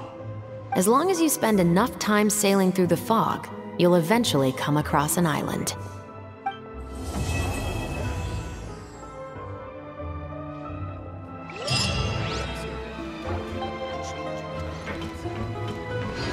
What? Never thought that the captain of the security and surveillance patrol could come from the Fleuve Cendre? You mean rising through the ranks? It was a struggle, for sure. But as long as you can distinguish yourself through your accomplishments and skills, you'll eventually be recognized for your worth. If you look at it another way, my life at Fleuve Cendre has actually taught me a lot of valuable skills. Skills like how to barter with criminals or how to think in their shoes. Of course, I'd appreciate it if you could keep this a secret between us.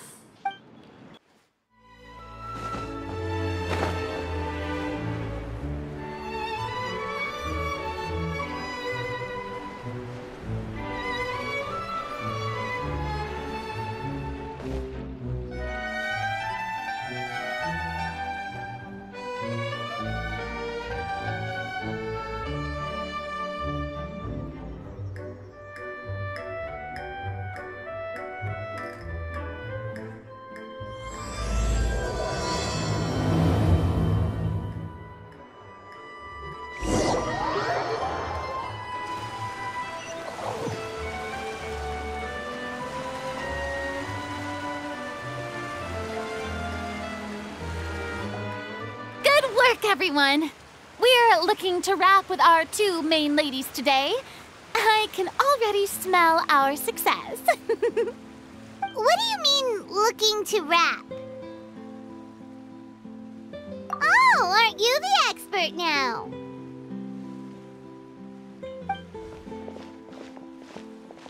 This upcoming scene is the two musketeers' final confrontation with the Baron. There will be quite a bit of action, but no choreography beyond what we've already rehearsed. Anyway, get ready. Lights, camera, action! The view is beautiful tonight. It reminds me of that fateful night ten years ago. Hmm, and now that I've said it, I can even make out the faint fragrance of herbal tea in the air. Enough, villain! It's time that you pay for the death of our mother! My dear Iris, have you forgotten your manners? How can you speak like this to your own father? I'd sooner swallow all of my teeth than call you father. What did I expect? Seems the daughters have turned out to be just as obstinate as their foolish mother. In this world, Mora and status is everything. She thought she could blackmail me using her children and force me to grant her recognition and concessions? Ah, how naive can a woman be? Mother never asked a single thing of you. All she wished was for us to live a peaceful life, just like the others.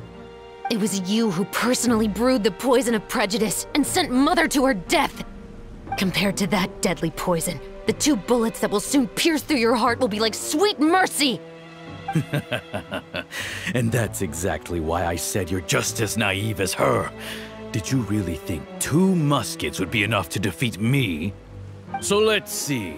What is stronger, Mora and power, or the two muskets in your hands?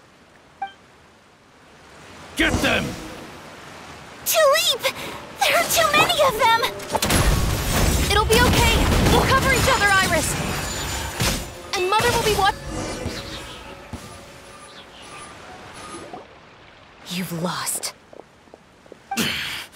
To think I'd lose to my own two kids. We are no children of yours, and we'll never call that place our home. Then tell me, what did you do all this for? You lost your mother, and will soon kill your father as well. What will you gain in the end, other than sentences for your crimes? We will gain our long awaited justice.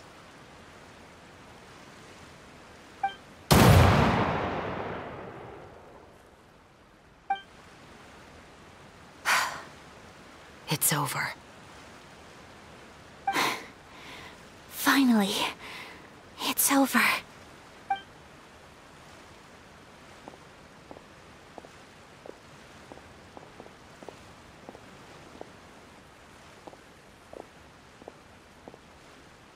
So, where will you go now, Tulip? I'm not too sure, Iris. Maybe somewhere with lots of flowers? After all, Mother always did love going where the blossoms were. What about you? I want to go visit Mother's grave. Yeah, that's not a bad idea. Huh? Tulip, look! What is it? It's Mother's favorite. The rainbow rose. Look, it's blooming again.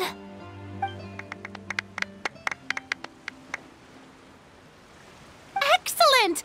That was beyond mesmerizing. Even I didn't expect the scene to go so well. And we got it in a single take. All right, everyone. We've got a wrap for Tulip and Iris. Congratulations, Ayaka and Chevreuse! Thank you. I didn't expect our parts to wrap so quickly. I wish I could savor the experience for just a bit longer. Paimon totally understands. Paimon's not ready to say goodbye to the clapperboard either. Filming has really been a lot of fun. You were great too, Chevreuse. The way you said, long-awaited justice. It gave Paimon chills. That is indeed my favorite line in the whole book. I still remember trying to act it out in my room the first few times I read it. Whoa, Paimon would have never guessed you're that type. Who doesn't like stories where the guilty are punished and justice prevails over evil? Don't forget, I'm the captain of the Special Security and Surveillance Patrol.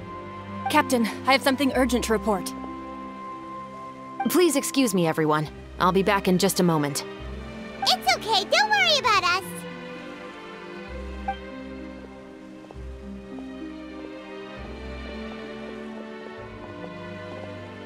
Oh? Was she whisked away by work already? Mm, I was just about to tell her how great she did. It seemed like some urgent official business. then perhaps we should thank the stars that we were able to wrap both of your parts so quickly today. Switching around the filming schedule would have been a real pain. Anyway, I actually came over to let everyone know that we're all done for today. You can go home and get some rest. And one last thing, Miss Ayaka. Your acting skills today were immaculate as always. Are you sure you won't consider taking up full-time acting?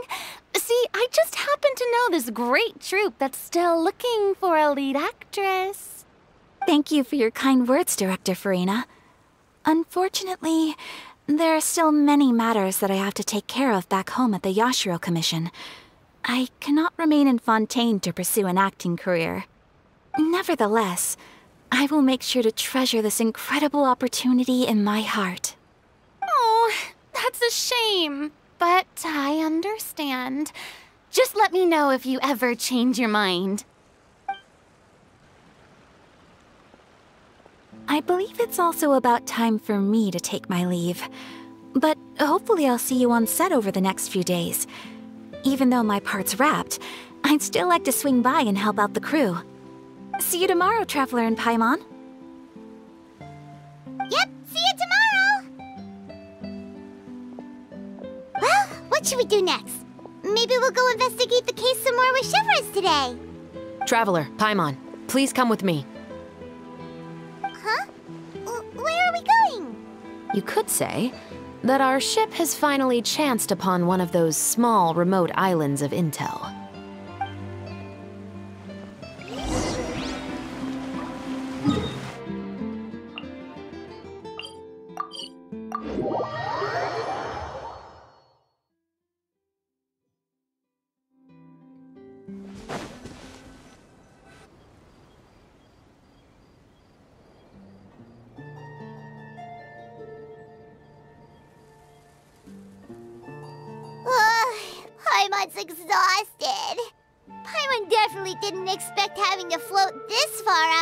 Day of filming.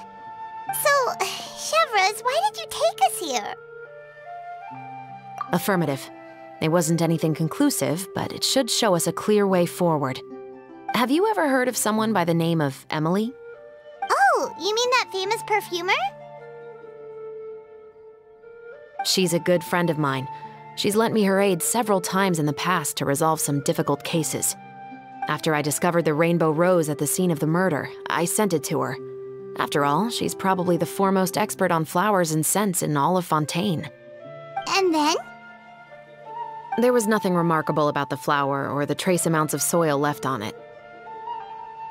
But according to Emily, the rainbow rose left by the killer was derived from a very rare cultivar. Huh. Paimon didn't know that there were different varieties of rainbow rose. Paimon just thought they grew everywhere in the wild. Flowers that are deliberately cultivated will always show some different features from those that bloom in the wild. We already knew that the rose left at the scene belonged to a special cultivar, but with Emily's expertise, we were able to pinpoint the place where it was first picked from. Oh, Paimon gets it now. So whoever first planted that rainbow rose was probably the killer. Precisely. And after we checked what we learned against some sales records from the past, we discovered that there's only one person in all of Fontaine who could grow and sell this specific cultivar. Uh, really? And who is it? It's the novelist. But didn't you say he had an alibi? To be clear, I haven't changed my mind about him. I still don't think he was the one who pulled the trigger. However, that doesn't mean the true culprit never visited him at his home or never purchased a rainbow rose from his garden. Whatever the case, we will have to confirm a number of things with him. So you mean the next place we need to go is... Yes, we're going to pay him a visit at his home.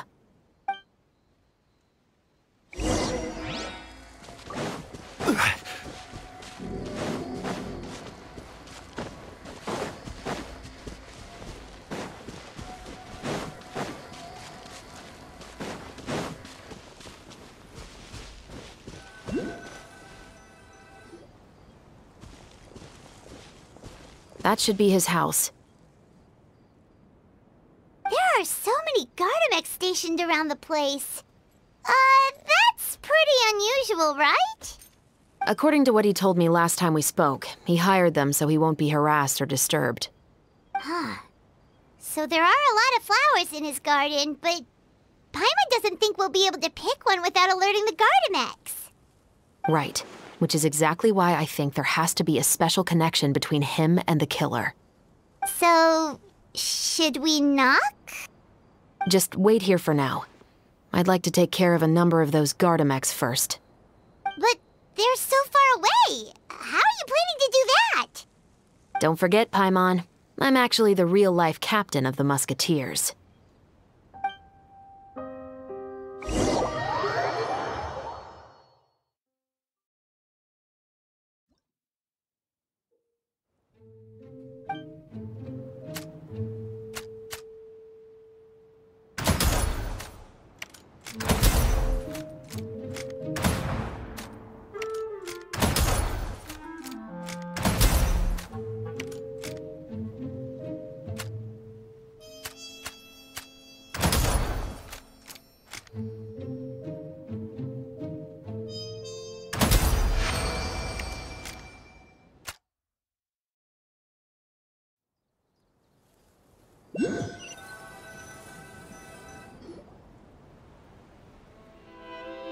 All clear. Let's go. Oh, wait, wait, wait! Paimon's a little nervous now that we know he could be the killer. Can we go over our plan of action again? I'll go knock on the door and make sure it's safe inside. Once we're sure that we're in the clear, I'll ask him to come with us for a quick round of questioning at the guard's headquarters. But can't we just arrest him? We still have no evidence that he's the killer, or that he lent the killer any direct aid. Still, it would be appreciated if you could pick a rainbow rose from his garden for me while I'm talking to him. It'll help the Marechaussee Phantom confirm Emily's theory. Sure, no problem. Just be careful, Chevreuse.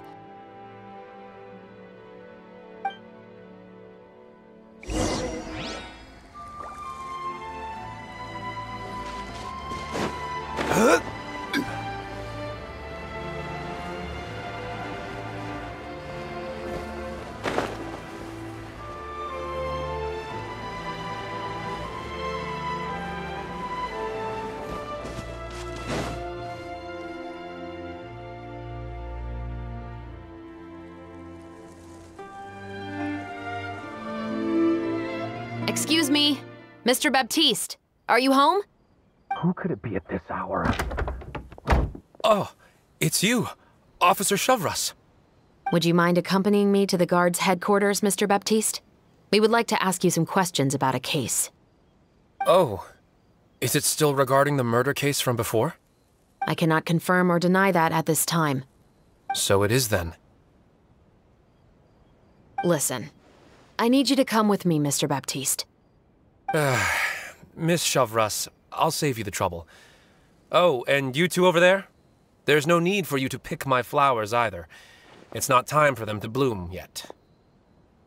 Oh! Uh. Okay.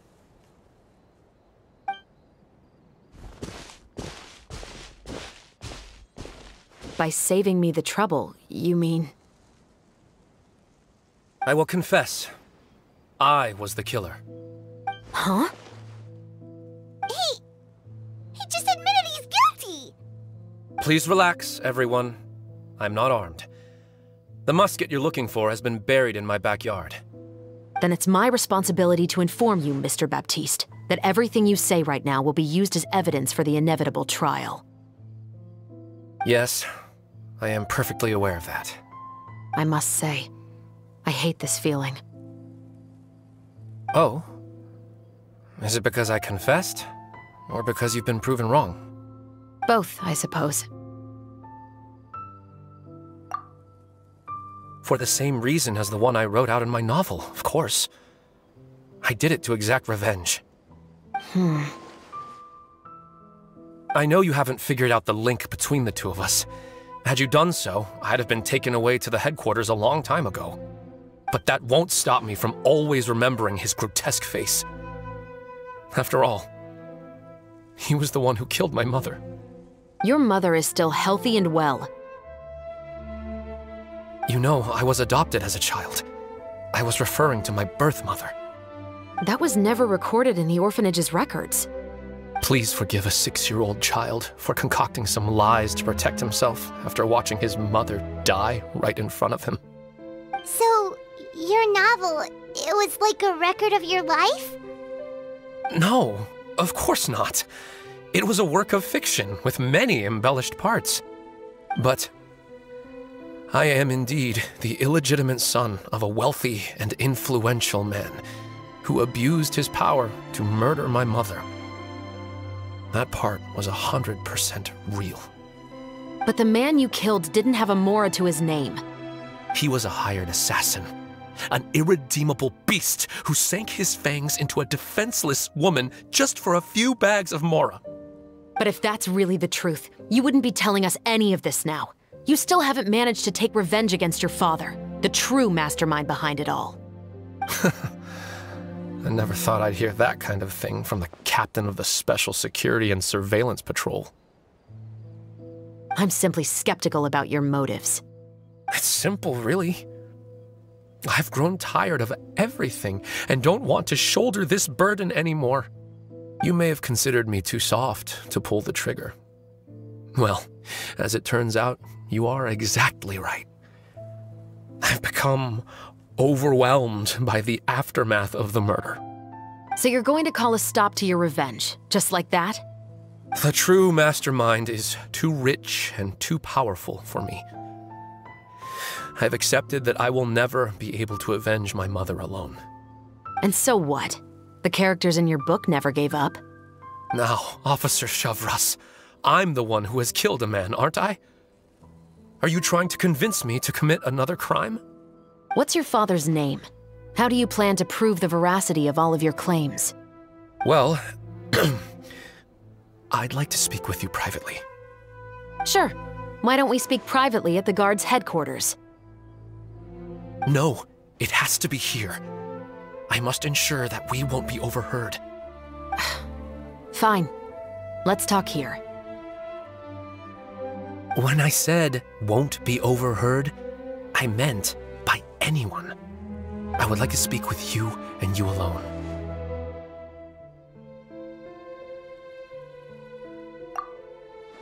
Thanks. I appreciate it.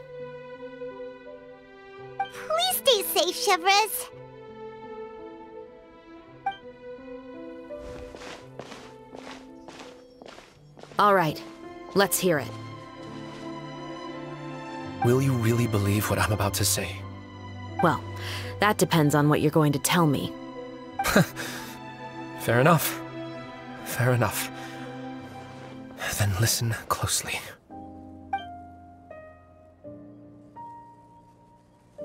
Hmm. So that's how it's all connected. So, it seems you believe me after all. Do you want me to go public with this? No, of course not. At least, not right now. Then why did you bother telling me? You've read my work. What do you think? Even if you were to go public with all of this right now, he'd simply deny everything. It's been too long. Almost 20 years. Anything that could be used as evidence has long faded away. Even if there might have been a solitary island of truth once upon a time, it has long sunk beneath the waves by now. Justice will never find him. Not if you don't try. I know that as the captain of the Special Security and Surveillance Patrol, you will always stand on the side of justice. But do you really think a cushy life in prison really constitutes justice for him? I bet he could lead an extremely comfortable life in the fortress of Meropide. What are you trying to say? I've been observing you from a distance. Your portrayal of the musketeer was exquisite. Pull the trigger of justice against him. Let the villain get what he deserves. You want me to let you go so you may complete your revenge?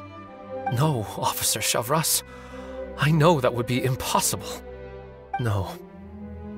What I'd like is for you to perform the deed on my behalf. Oh, Shiva sure is taking her time. What could they be talking about anyway? Oh, Paimon's worried. What if he decided to attack her? Oh, uh, you do have a point. Still, do you have any idea who the rich person might be? And why the novelist doesn't want us to hear what he's saying to Chevreuse? Sorry to keep you waiting, you two. Hey, how did your talk go? I've already sent someone to escort Baptiste back to the headquarters for questioning. He wasn't lying about the musket. It was indeed buried in his backyard. But what about the name? Did he tell you Yes, he did. But for now, I have to return to the Special Patrol. There are still a few loose ends I need to tie up. I'll probably be quite busy over the next few days, so apologies if you don't see me on set. All right, Paimon understands if you can't tell us everything you know. We'll just keep an eye on the Steambird then. Actually, there's still something else I need your help with.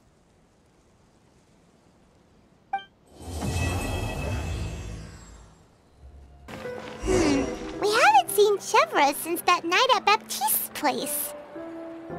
Well, guess there's no point in worrying about it now. Let's go join up with the others.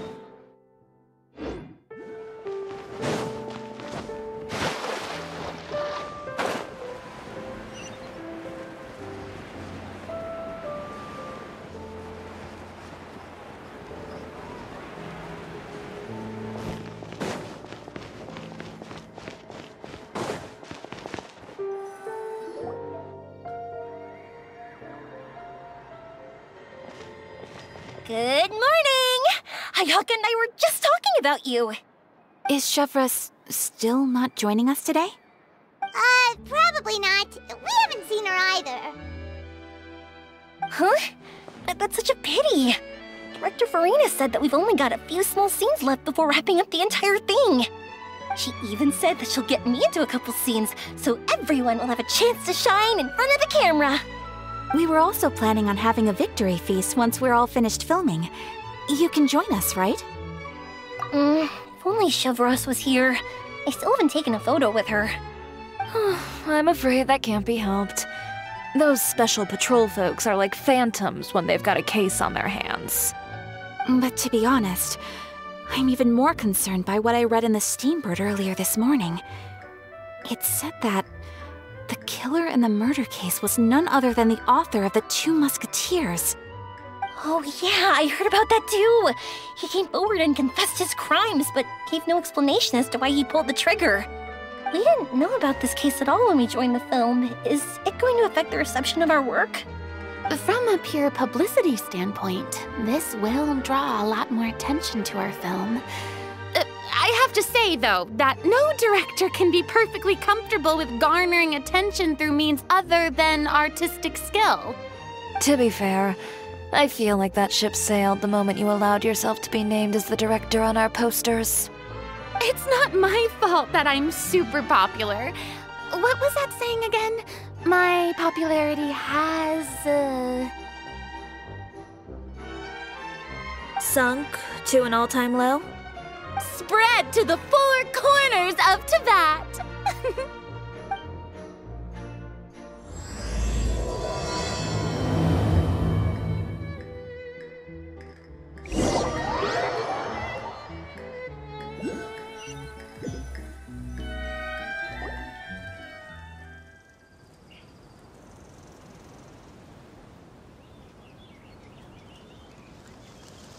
Uh, excuse me, everyone. Xavier! Feels like it's been ages since we last saw you. I've been talking nonstop with the Film Association, and I'm absolutely swamped trying to coordinate the film's marketing. So forgive me for not being around more often, but please believe me when I say that I will make sure everyone's hard work gets the exposure it deserves. Oh, seems like you've been fighting your own battles. yes, that's one way to put it. Oh, and before we begin the final round of filming, please allow me to finally introduce you to the original investor of our film, Mr. Morris. Um, a pleasure to meet you all. Yes, glad to make your acquaintance, Mr. Morris. We've heard about the issues you've encountered with your financial situation, and genuinely hope that things have taken a turn for the better. Oh, well, uh, the situation has uh, indeed improved somewhat. Don't worry, Mr. Morris. Accidents and last minute challenges happen all the time. There's no need to blame yourself over it. The good news is that we're almost done filming now, and I would even say that this is the best story I've ever seen. Is that so? I see. That's that's that's great news.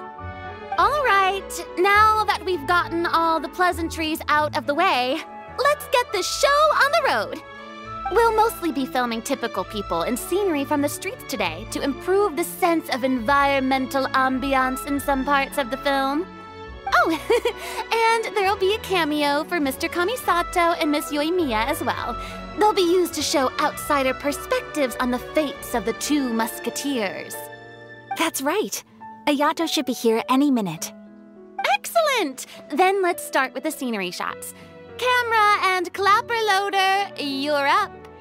Yep, we'll be ready. Remember, all we need are some wide zoom shots of the streets.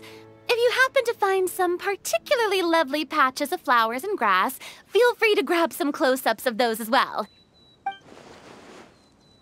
Ready? Lights! Camera! Action! Okay, now move the camera slowly. Uh, uh, try to focus on that flower. Hmm? What's wrong? Just adjust the focal length a bit. Something the matter? Uh, huh? But wasn't it working fine for all the days before? Veronique, can we try a different camera? No problem. How about this one? All right, let's give it another try. Lights! Camera! Action!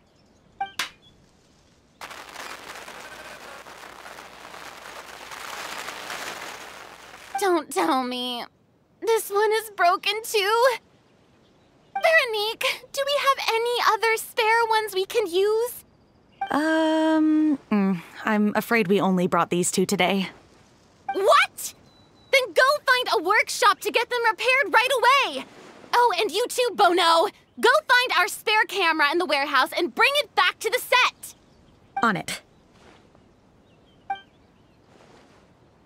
Greetings, everyone. My apologies for the delay. Hmm? Is something the matter, Ayaka? It seems like there are some issues with the filming equipment today. We're stuck for the moment. I see. Well, let's not just stand here twiddling our thumbs. Actors, to the makeup booth. We'll start on the next scene as soon as we get a working camera. The people at the workshop told me that the part which holds the lens in place seemed to have fallen off. That's super strange. It was perfectly fine just yesterday. Well, no time to dwell on that now. Let's get back to filming. Quiet on set! Places, everyone! Lights! Camera! Action! By the way, have you heard about that recent murder case? Hmm, yes, I have. It seems that they've caused quite the commotion in the city. I heard that the chief of the guards is so mad about not catching the culprit that he's about to explode. Oh? I find that quite hard to imagine, considering how he already looks most days. Director, director, we have a problem. Oh, we're in the middle of a take! Couldn't you wait until we wrapped up this scene? No, director, our film, all the finalized film that we've been keeping in the case has disappeared. Oh, wait, well, uh, what did you say? Mr. Bonneau, please take me to where the film was kept right away. I'm coming too. No, Yoimiya, you have to stay here. Oh. Okay, listen up. Everyone who's not working on this current scene can go with Bonneau to look for the film. Everyone else, stay put and wrap up the scene. Unbelievable. How could all these problems happen in just one day? We're back. How did it go? Did you find the film? We found it in the sewers. Huh? In the sewers? Is the film still okay? We discovered it just in time, so we should still be able to salvage it. The others are checking now to see if we lost any specific scenes. you scared me for a moment there. I nearly thought we had lost everything. I really don't want to experience that feeling of despair again. Okay, but who could have stolen the film and dumped it there? Um, could it be uh, some competitors working on other films? But if they wanted to harass us, why wait until the last day? Hmm. Okay, we don't have time to really look into it right now. Let's strike while the iron is still hot and wrap this thing up once and for all. Yeah, let's finish it.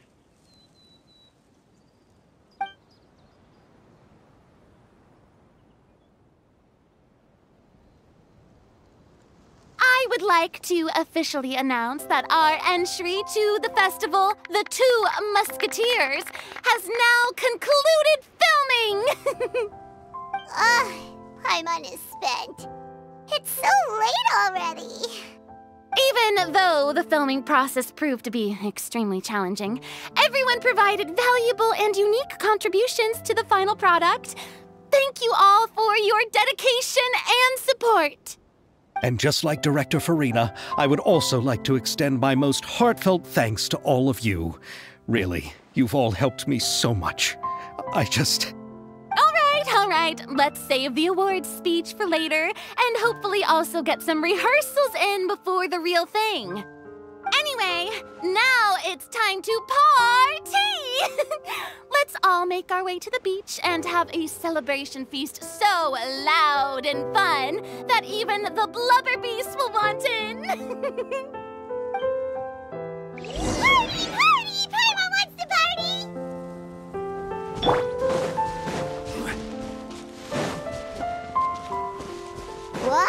Whoa, this place is hopping. Everyone's finally getting to relax after wrapping up the film. Let's go chat with someone. Furina! Oh, my darling clapper loader and camera operator. You've both both worked really hard. Paimon thinks you worked even harder than us. Honestly, Paimon was getting a little tired of playing with the clapperboard by the end of it. Worst of all, Paimon started having dreams of you shouting, Lights, camera, action! into Paimon's ears. The actual dream can't even start until you've yelled that. Uh, hey, if anything, shouldn't I be more grand and delightful than your dreams? We've been through so much together, and that's how your brain remembers me? Uh, that, that's not Paimon's fault. We've just used the clapperboard too much lately. Anyway, what's most important is that we've wrapped the film. I'm pretty confident that we'll take first prize. hey, no need to mention the official name. Wait, now that you mention it, if we did win the prize, would Furina just get a statue of herself? Uh, come on, I don't need that kind of attention. Xavier can accept the reward on our behalf. But just imagine! Furina accepting the Furina Award and holding a Furina statue. Uh, uh, I'm going back to my dessert now. You all can keep discussing that on your own. Hey,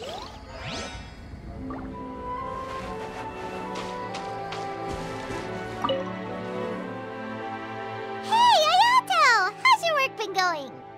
Everything went rather smoothly. Thank you for your concern. Ayato told me that we've already confirmed the dates for some Inazuma Fontaine cultural exchange events. So the next time we visit, we'll be doing so in our capacities as the representatives of the Yashiro Commission. Oh, that's great! Then maybe Paimon will be able to find Fontaine detective novels in Inazuma from now on! Oh, wait, wouldn't Yae Miko get upset if that happens? That would be stealing some of her business. You've got a point. She's always complaining that light novels have become bland and too predictable after all. The cultural exchange won't only feature literatures of both nations, of course. We have also made plans for cross cultural engagements in the fields of gourmet cuisine, uh, toy making, and artisan craftsmanship. Wow, Paimon's getting super excited now! When the time comes, be sure to visit and participate in all the events.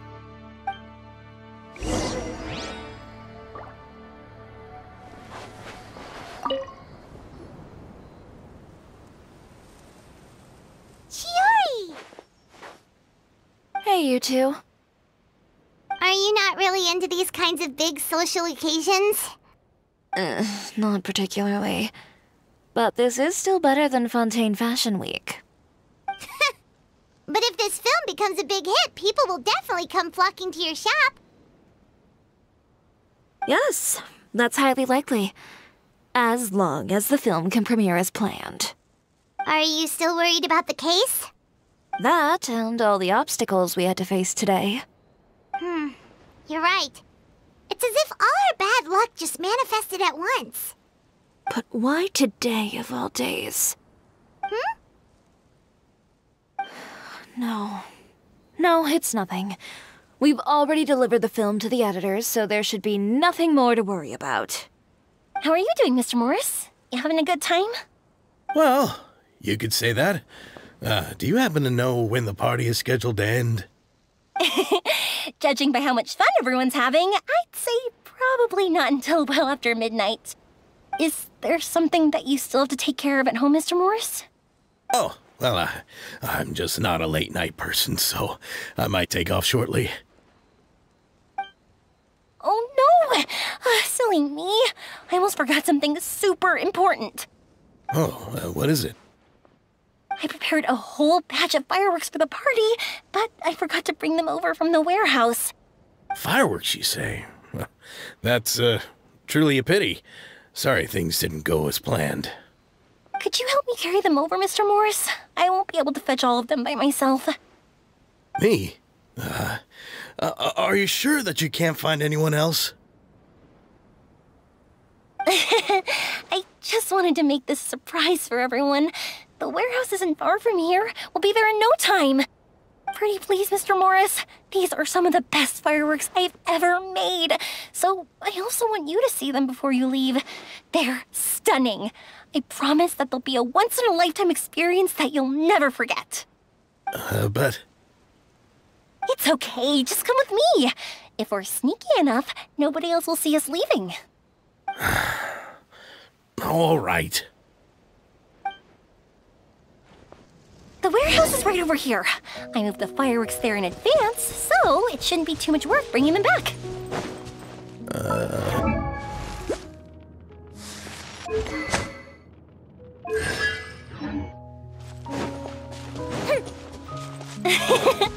Sorry about that, Mr. Morris. It's probably because I'm used to carrying fireworks all the time, so it doesn't feel like a lot of work to me.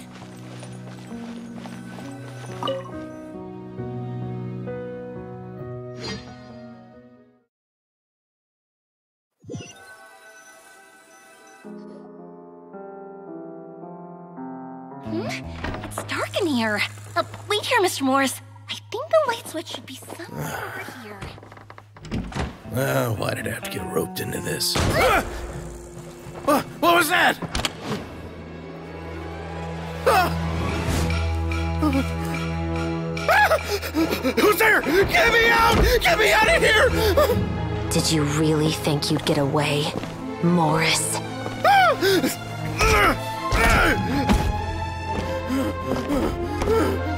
You, you've got the wrong guy. It wasn't me. I, am not the killer.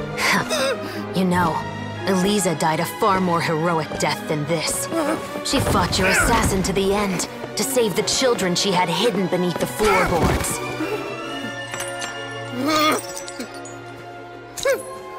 That is Eliza's pendant. The one with a photo of you two inside. The one you gave her. Ring any bells? It's a fake! It has to be! There's no way! No way your assassin didn't destroy it, you mean?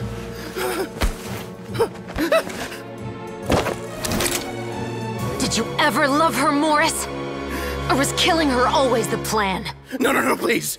Listen to me. I told Eliza to keep us a secret.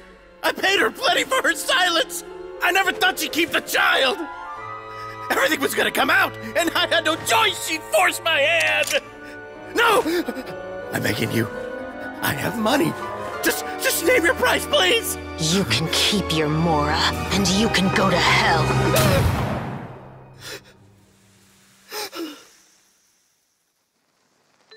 I'm Captain Chevreuse of the Special Patrol. Morris, you're under arrest for Eliza's murder. Huh?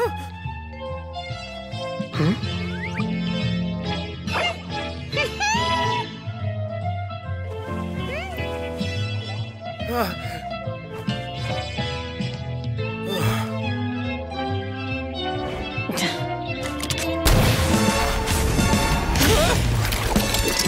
You're under arrest too, prop manager Veronique. Or perhaps I should call you the Second Musketeer.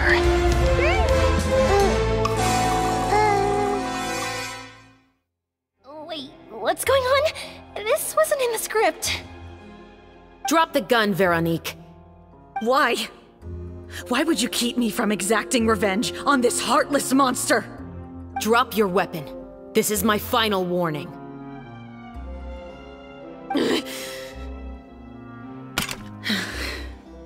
what? What is going on? Do I have to spell it out for you, Morris? Everything that took place just now was staged to get you to confess the truth. But this last part is all improv, of course.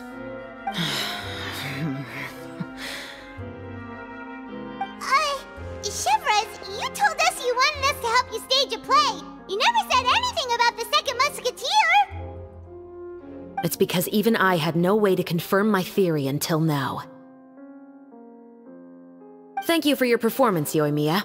Could I trouble you to go and bring in the other Special Patrol members? They should be on standby just outside. Oh, and please tell the other cast members not to worry about us. We'll be rejoining them shortly. On it!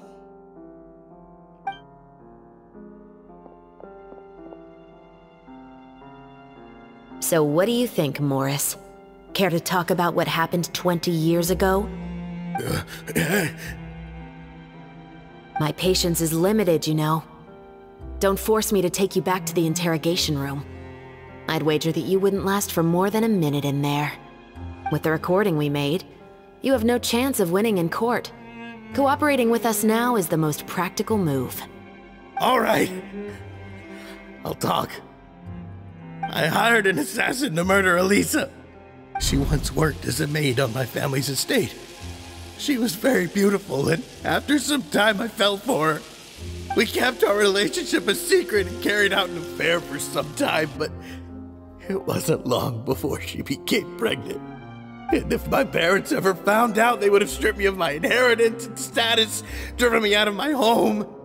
I also didn't expect Elisa to insist on bringing the pregnancy to term. She even asked me to leave my family and travel far, far away with her.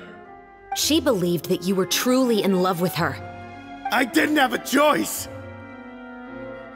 I gave her a large sum of mora, told her to leave the family and to get rid of the baby.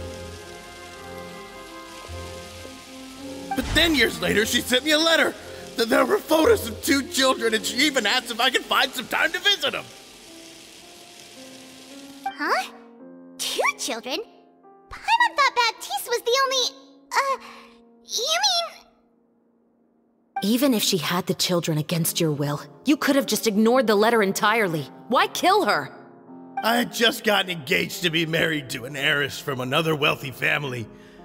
So if anyone were to find out about Elisa, my life would be completely ruined. I didn't have a choice. No. You always had a choice. You just made the wrong choice. Again. Do you know how it feels to watch your mother be killed right in front of you? My brother and I were hardly even school age yet. We were hidden beneath the floorboards, grasping each other's hands like a lifeline. We were so terrified that we didn't even know we could ever take a breath. All we could do was to watch Mother try to fight back, and then collapse to the floor. Even after the assassin left, we were still too terrified to leave our hiding spot. We thought that he might come back. It was only until the next evening when we finally climbed out and gathered around our mother. But she had already become cold and stiff to the touch. You made up your mind right then and there to bring this case to light. Not only that, we resolved to get our revenge. And that's why you became the Musketeers. No, that's why I became a musketeer. The man from before was also killed by me. My brother had nothing to do with it. I figured as much. Uh, you did? I once told these two that he didn't look like a killer to me. His confession from that night also rubbed me the wrong way. I think what really tipped me off was how could I not feel a sense of regret in him? Huh? He confessed faster than any criminal I've ever met, but he didn't say a single word about you. He insisted that he was the sole perpetrator in the case. But after the questioning ended, I disassembled the musket we dug up from his backyard, put it in front of him, and told him to reassemble it. Wanna guess how far he got? he had no idea where to even start. He's never touched a gun in his life. Based on that, I determined that he was not acting alone. He only surrendered himself to draw our attention and create a moment of opportunity for his partner. So, I decided to play along. And as expected, the second musketeer followed us without hesitation once she saw Morris get separated from the rest of the cast. Besides, why else would he call the novel The Two Musketeers? But how did you know it was Veronique? I figured it out the moment Baptiste told me his father's name. That so-called financial crisis was all just a ruse. He just wanted to sign up as the investor and then leave the film without any source of funding. After all, he has a vested interest in minimizing the reach of this story. It's really just the same thing as what he did to Eliza all those years ago. Human scum. But then Xavier pulled out all the stops and got the film made against all odds. Morris couldn't have that. With the killer in custody, he figured it was safe to act. And so he came to visit the set today, just as I expected. Wait, so you were behind all those mishaps today?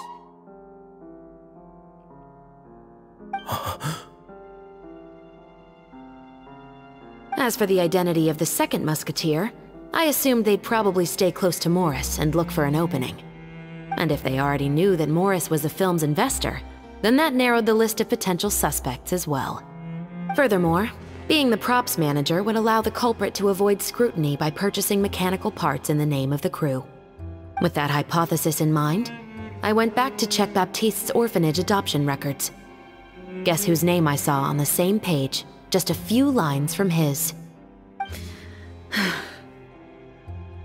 My brother. He trusted you.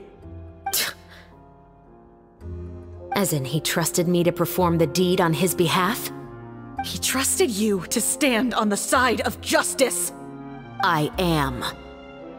I thought you could do it as well. Oh, the look on your face when you told him to go to hell. I really thought you'd put a bullet in his brain. You know what he has done. Are you telling me that you'd rather see him spend the rest of his life living like a king in the fortress of Meropide? I will never be able to forget the feeling of my mother's cold, lifeless hands. And you would call this ending fair? Is this what you call justice? I won't lie, Veronique. I did hesitate when your brother first told me about the truth. I wondered. I agonized over whether I should really put a bullet in his head. So why don't you? Because that should never be how justice is carried out in this world. Perhaps, to you, justice is simply reciprocated an eye for an eye and a life for a life. But everyone has their own understanding of justice. If everyone were to pursue their own definition of it, there would be no more order in this world. Today, you'll kill Morris, and tomorrow, his children may come for you. The world cannot render judgments based on a desire for revenge. That will only lead to a cycle of revenge, as well as the destruction of order and civilized society. Fontaine is founded on a set of laws and a standardized code of justice. That is why we are the nation of justice. But with all that said, I will promise you this. Morris will not lead a cushy life in the fortress of Meropide. Chevreuse, the rest of the special patrol is here. Thank you so much, Yoimiya. Letelier, Terena, please take them away.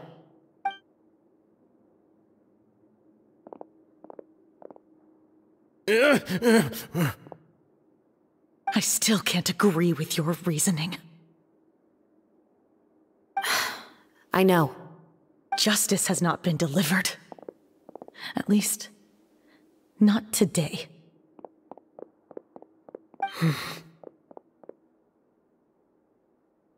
Chevreuse. Let's go. We should give an explanation to the crew. Thank you for your concern. I'm fine. I'm just thinking about the things in life that have driven people to take justice into their own hands.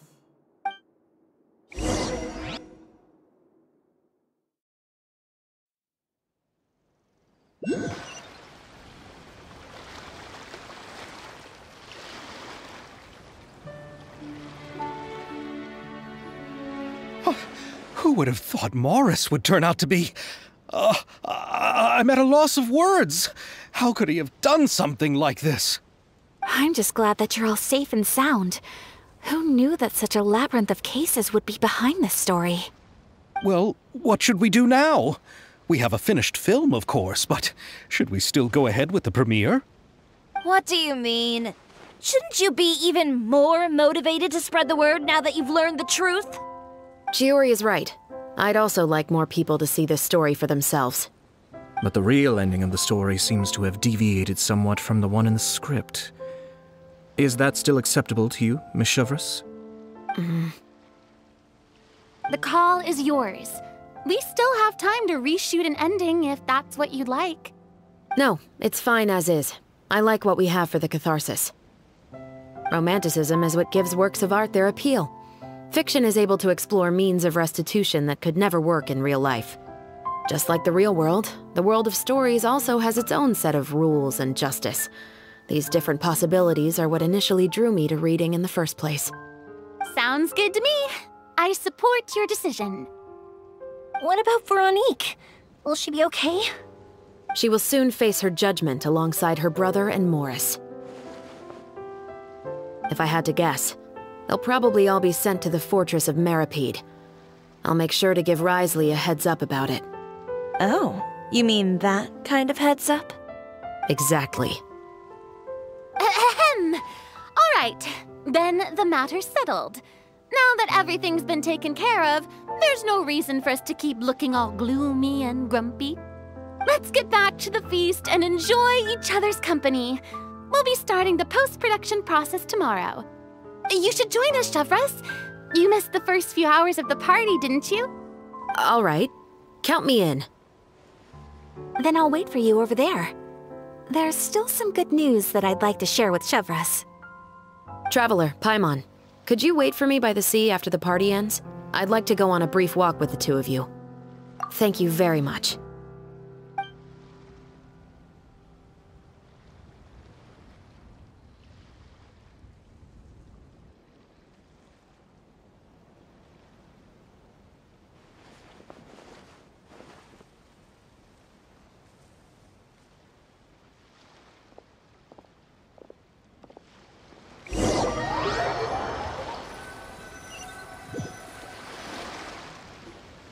Sorry for the wait. Oh, we weren't waiting long at all. Is there something else you wanted to tell us? No, I don't have anything new to share. I just felt that since you were my investigation partners, I should have another conversation with the two of you. Uh, Traveler, how would you have responded to Baptiste's request if you were in my shoes? Is that so? well, thanks for sharing. When I was young, my father often took me here to swim. We'd come rain or shine, even when it was freezing cold. He told me that swimming was the best activity to train one's strength of will. You could never give up before reaching the shore, especially when the water was cold. Oh? Why's that? Because the moment you give up would be the moment you die. At that point, I still hadn't received my vision. One winter, the chilly wind felt almost like knives on my skin, and the seawater was so frigid that it numbed my toes the moment I stepped in. I cried and begged my father to spare me from having to swim across, but he wouldn't listen. He used to be a member of the Special Patrol as well. You could say it was his way of educating his children. That sounds awful. When he saw that I wouldn't stop crying, he just picked me up and tossed me into the icy water. The bone chilling cold took away my senses. I couldn't feel anything but fear and rage. I waited for my father to save me, but one look and I knew he'd already started swimming for the opposite shore. I realized that if I were to give up, I really would die right then and there. I used all of my strength to try and catch up to my father. Those few minutes felt longer than my whole life up until that point. I did, however, make it to the other side. I've never felt afraid about anything in my life after that, nor have I ever cried again. That way of teaching would have never worked on Paimon. Yeah, I don't think that was the right method for anyone. It's just that, working now as I am in the pursuit of justice, I still sometimes feel like I've been tossed into that winter sea all over again. The anger and the helplessness. Chevreuse. But the worse I feel, the more I know to never give up. The alternative would be to forever lose myself among the waves. Anyway, how about a race? Neither of us will drown, but we can still see who swims faster. Uh, you guys go ahead. Paimon will grab the clapperboard to mark the start of the race.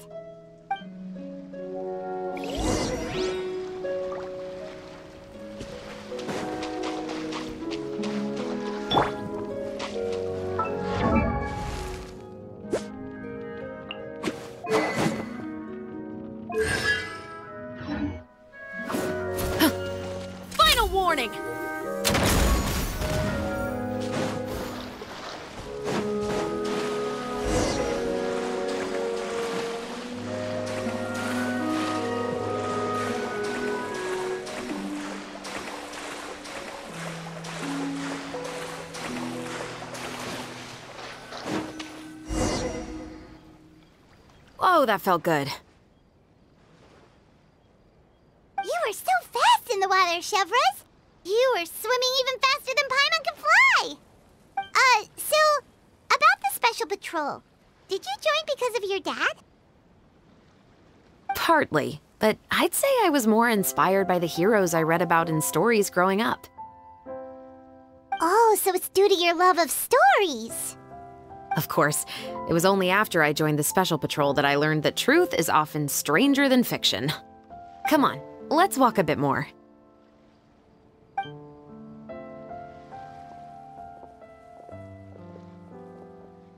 To be honest, I do sometimes question whether the decisions I make are the right ones. But I know that no matter what, I must keep swimming. Because the only thing I've got my eyes on is the shore in the distance.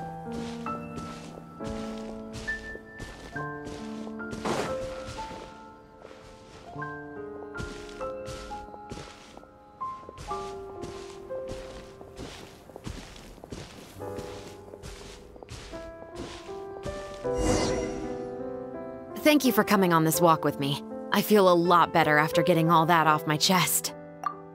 Huh. We're nearly back at Baptiste's house. Huh, you're right. I didn't realize we were so close. He really did plant a lot of flowers. It's just like how he described it in the story. Huh? Wait. Paimon, Traveler, look! The rainbow roses in the garden. They're in full bloom now.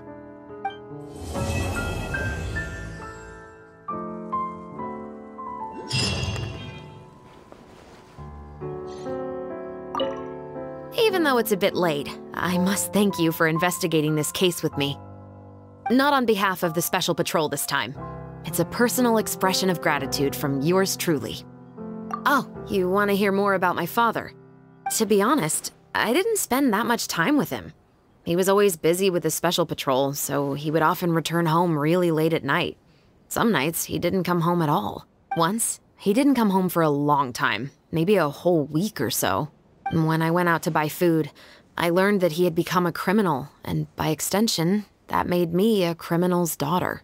But we can talk about that another day. I actually have a lot of sympathy for Veronique and Baptiste. I can understand the hatred they feel for their father, but that doesn't mean I'll allow them to walk the path of evil, even if it might lead to another sense of justice. Films are different from the real world. They're a form of art and represent the wishes in people's hearts. I adore the two Musketeers, and I'm very happy to have had the opportunity to act the role as one. I can't wait to catch the film when it premieres in the Opera House. I'm looking forward to seeing the audience's reaction to the climactic ending. Thank you for looking out for me. I'll see you at the award ceremony. I'd be very surprised if we don't win.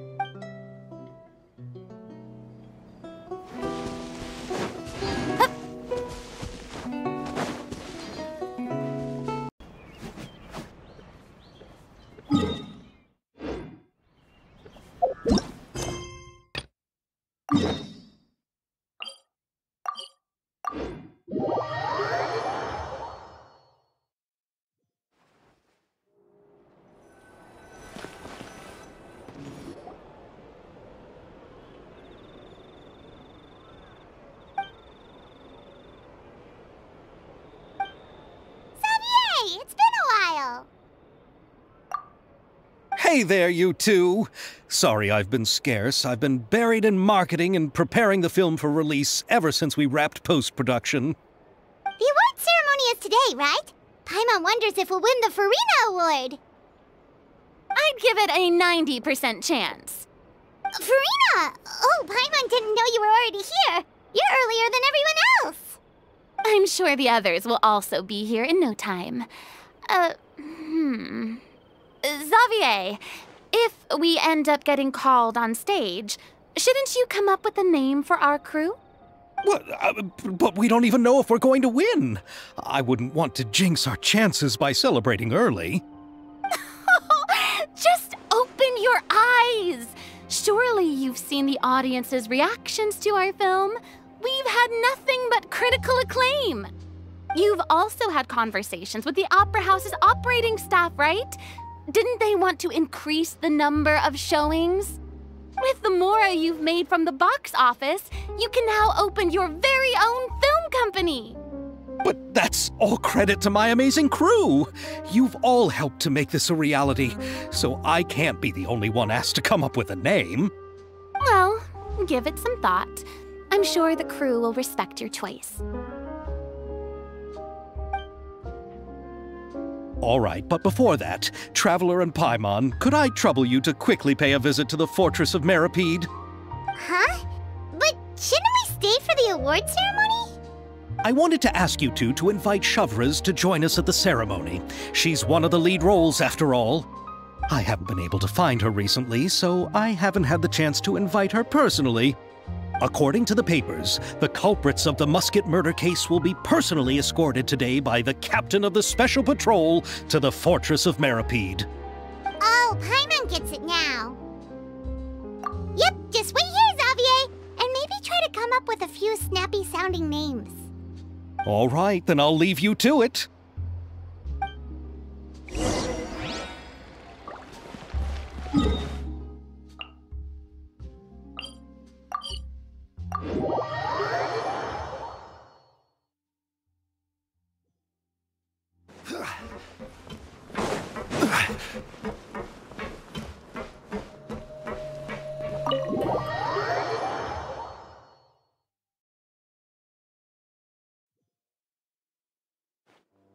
This is as far as I'll be taking them.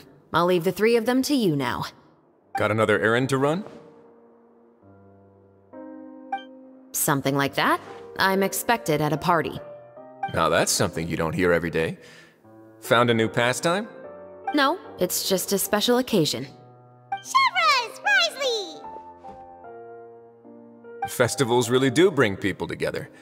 It's been a while since I last had so many visitors at the Fortress of Meropide. Call it the festival spirit, I guess. Yeah, you could say that. Even our head nurse has gotten herself all worked up preparing super deluxe nutritious shakes. Just one gulp and you'll have met all your nutrition needs. Were you talking about work just now? We've already finished discussing everything. So, what do you think about my heads up, Mr. Wriothesley? Hmm. I believe I haven't yet made any promises or guarantees. But you also didn't shoot me down. Here, how about this? You could give everyone a copy of the newspaper. Perhaps on the day when the cover story happens to, oh, I don't know, expose a certain someone's misdeeds from 20 years ago? Hmm. I suppose then a certain someone may soon find himself the most unlucky person in the Fortress of Meropide? While another two people will soon be hailed as heroes. Speaking of heroes, did you two need something from me? Oh, uh, actually, we're here for. You're here to invite me to the party, right? Don't worry, I didn't forget. Ooh, then let's head back right away! See you, Wriothesley! Happy Fontinalia Festival! And the same to you.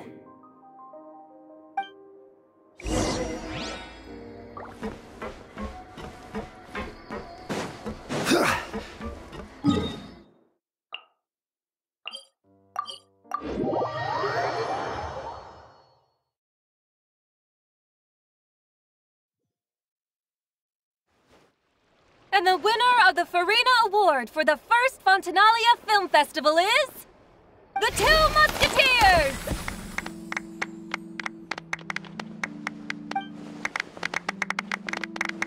We won! We really won! Congratulations, Mr. Xavier.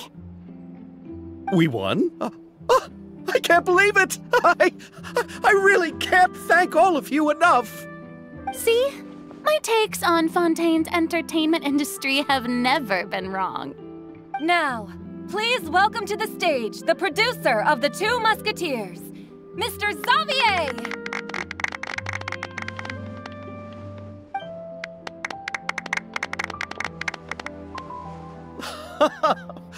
Thank you. Thank you all so much for your recognition and support.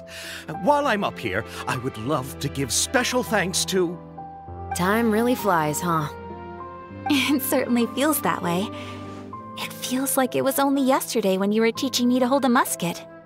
Will you come back to Fontaine again? Of course.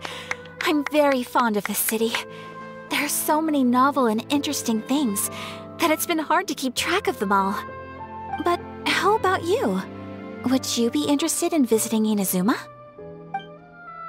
I can't say the thought has crossed my mind before, but I'd be willing to consider it now. I will be eagerly awaiting your visit. It would be wonderful if you could visit my home and enjoy a taste of our tea and desserts. Yeah, let's keep in touch. Did you accomplish all you came here for? Yes. And you should visit Inazuma again sometime. How has Ogura and her business been? To my knowledge, she's doing quite well. Tell her I said hi. I certainly will. I heard the thunderstorm has stopped. Yes, and the war has also been brought to an end. Peace and prosperity has returned to the islands. I quite like the sound of that. Perfect for hanging textiles out to dry. I'd like to offer my thanks again to the entire cast and crew. Without you, I would have never completed this film, much less had the opportunity to be standing on this stage. With the support of my entire crew, I would like to officially announce our film company, Musketeer Pictures. that has a really nice ring to it. Then in that case, let's please welcome all the members of Musketeer Pictures onto the stage for a commemorative photo. Oh, Paimon didn't know we'd also be taking pictures. Director Furina, I believe you are the most deserving person to raise this trophy. Huh? No, no, no, no. There's no need. It's so embarrassing. It's an honor the director deserves. Yes, I agree. Just accept that you're not getting out of this. Ready, everyone? Three, two, one. Musketeer Pictures!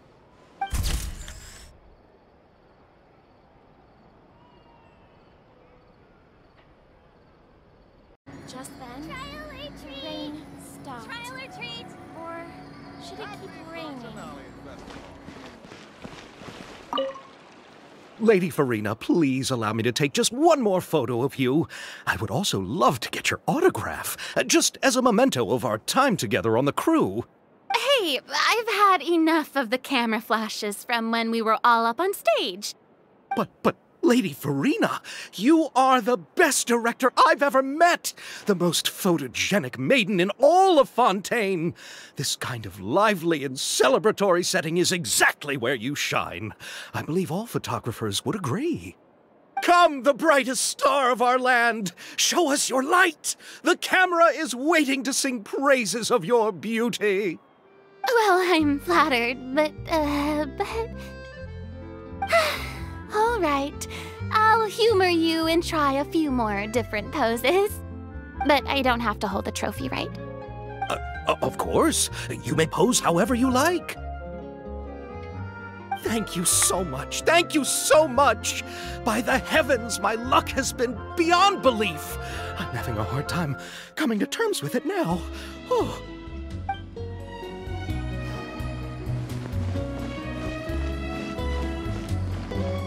Miss Yoimiya, we haven't had the chance to talk, but please accept my thanks for everything you've done over the past few days.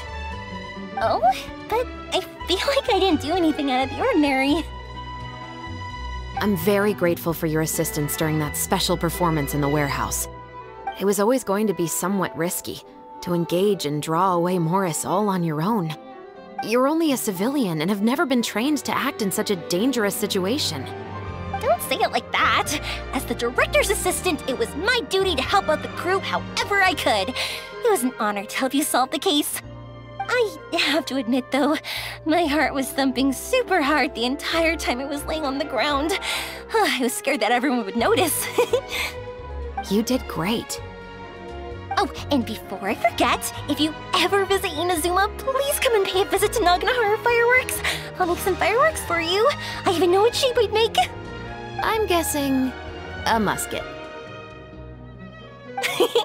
Telling you now would ruin the surprise. If you really want to see it, just come and visit me. I heard down the grapevine that oh. she... it's you. Is there something I can help you with? Interested in our couture services? Just give me the word. Thanks to you, we were also able to premiere the film in time. Its success has increased the reach of my brand. There's no need to be humble. You helped Xavier and Chevreuse, and even Kirara's told me many good things about you. They are all my friends. You've done far more than what you give yourself credit for. I am merely a fashion designer. I don't have anything else I moonlight as. But when you run a business, it's inevitable that as you make more friends, you'll also encounter all sorts of thorny issues. You scratch my back, I'll scratch yours. It's just the common sense of business.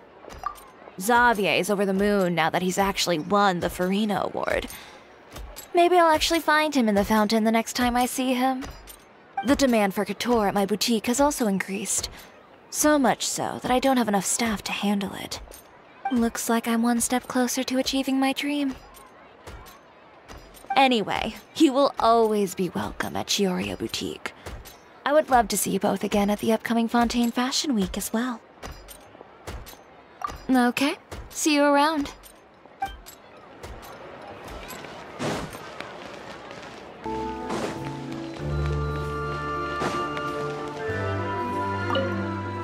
I'm so glad we were able to complete the film. Thanks for taking care of me while I was here. Really? Thank you. At first, I simply tried to work hard out of a desire to not become a burden to the crew.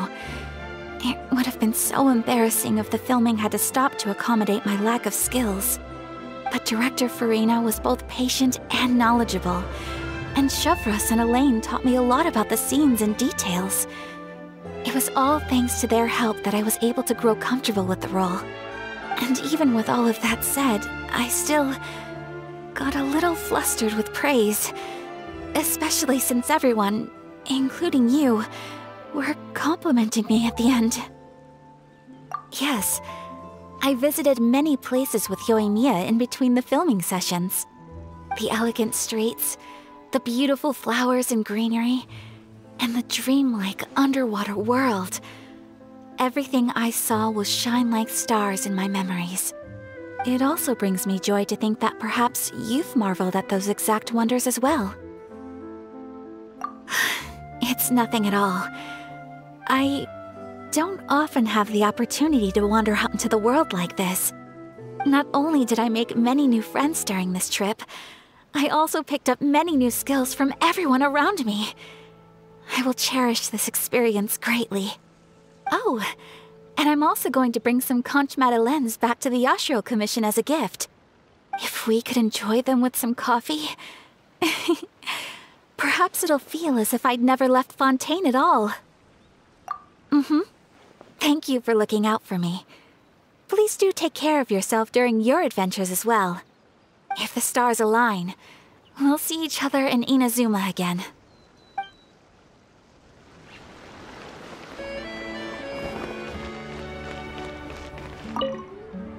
Oh, I didn't expect to meet you here. I've been told that this is a beverage called Fanta. I quite like its unique taste. The slogan, a font of refreshment, is rather catchy as well. I'm starting to wonder if I could incorporate it into our cultural exchange initiative. What would happen if we were to add some sprigs of mint into Fanta? I believe this is an idea worth testing. Or perhaps we could even take it one step further and mix in an equal amount of milk tea medley. Uh, but for some reason, I suspect that experiment wouldn't turn out well. Thanks to you, the film was successfully completed and the Yashiro Commission secured a collaboration project with the Palais Mermonia. If another opportunity was to arise in the future, perhaps I should take on the chance to act as the protagonist. Or perhaps you think the role of villain would fit me better. Thank you for the well wishes. I will take good care of Ayaka and Yoimiya. I would like to wish you safe travels on your next journey as well.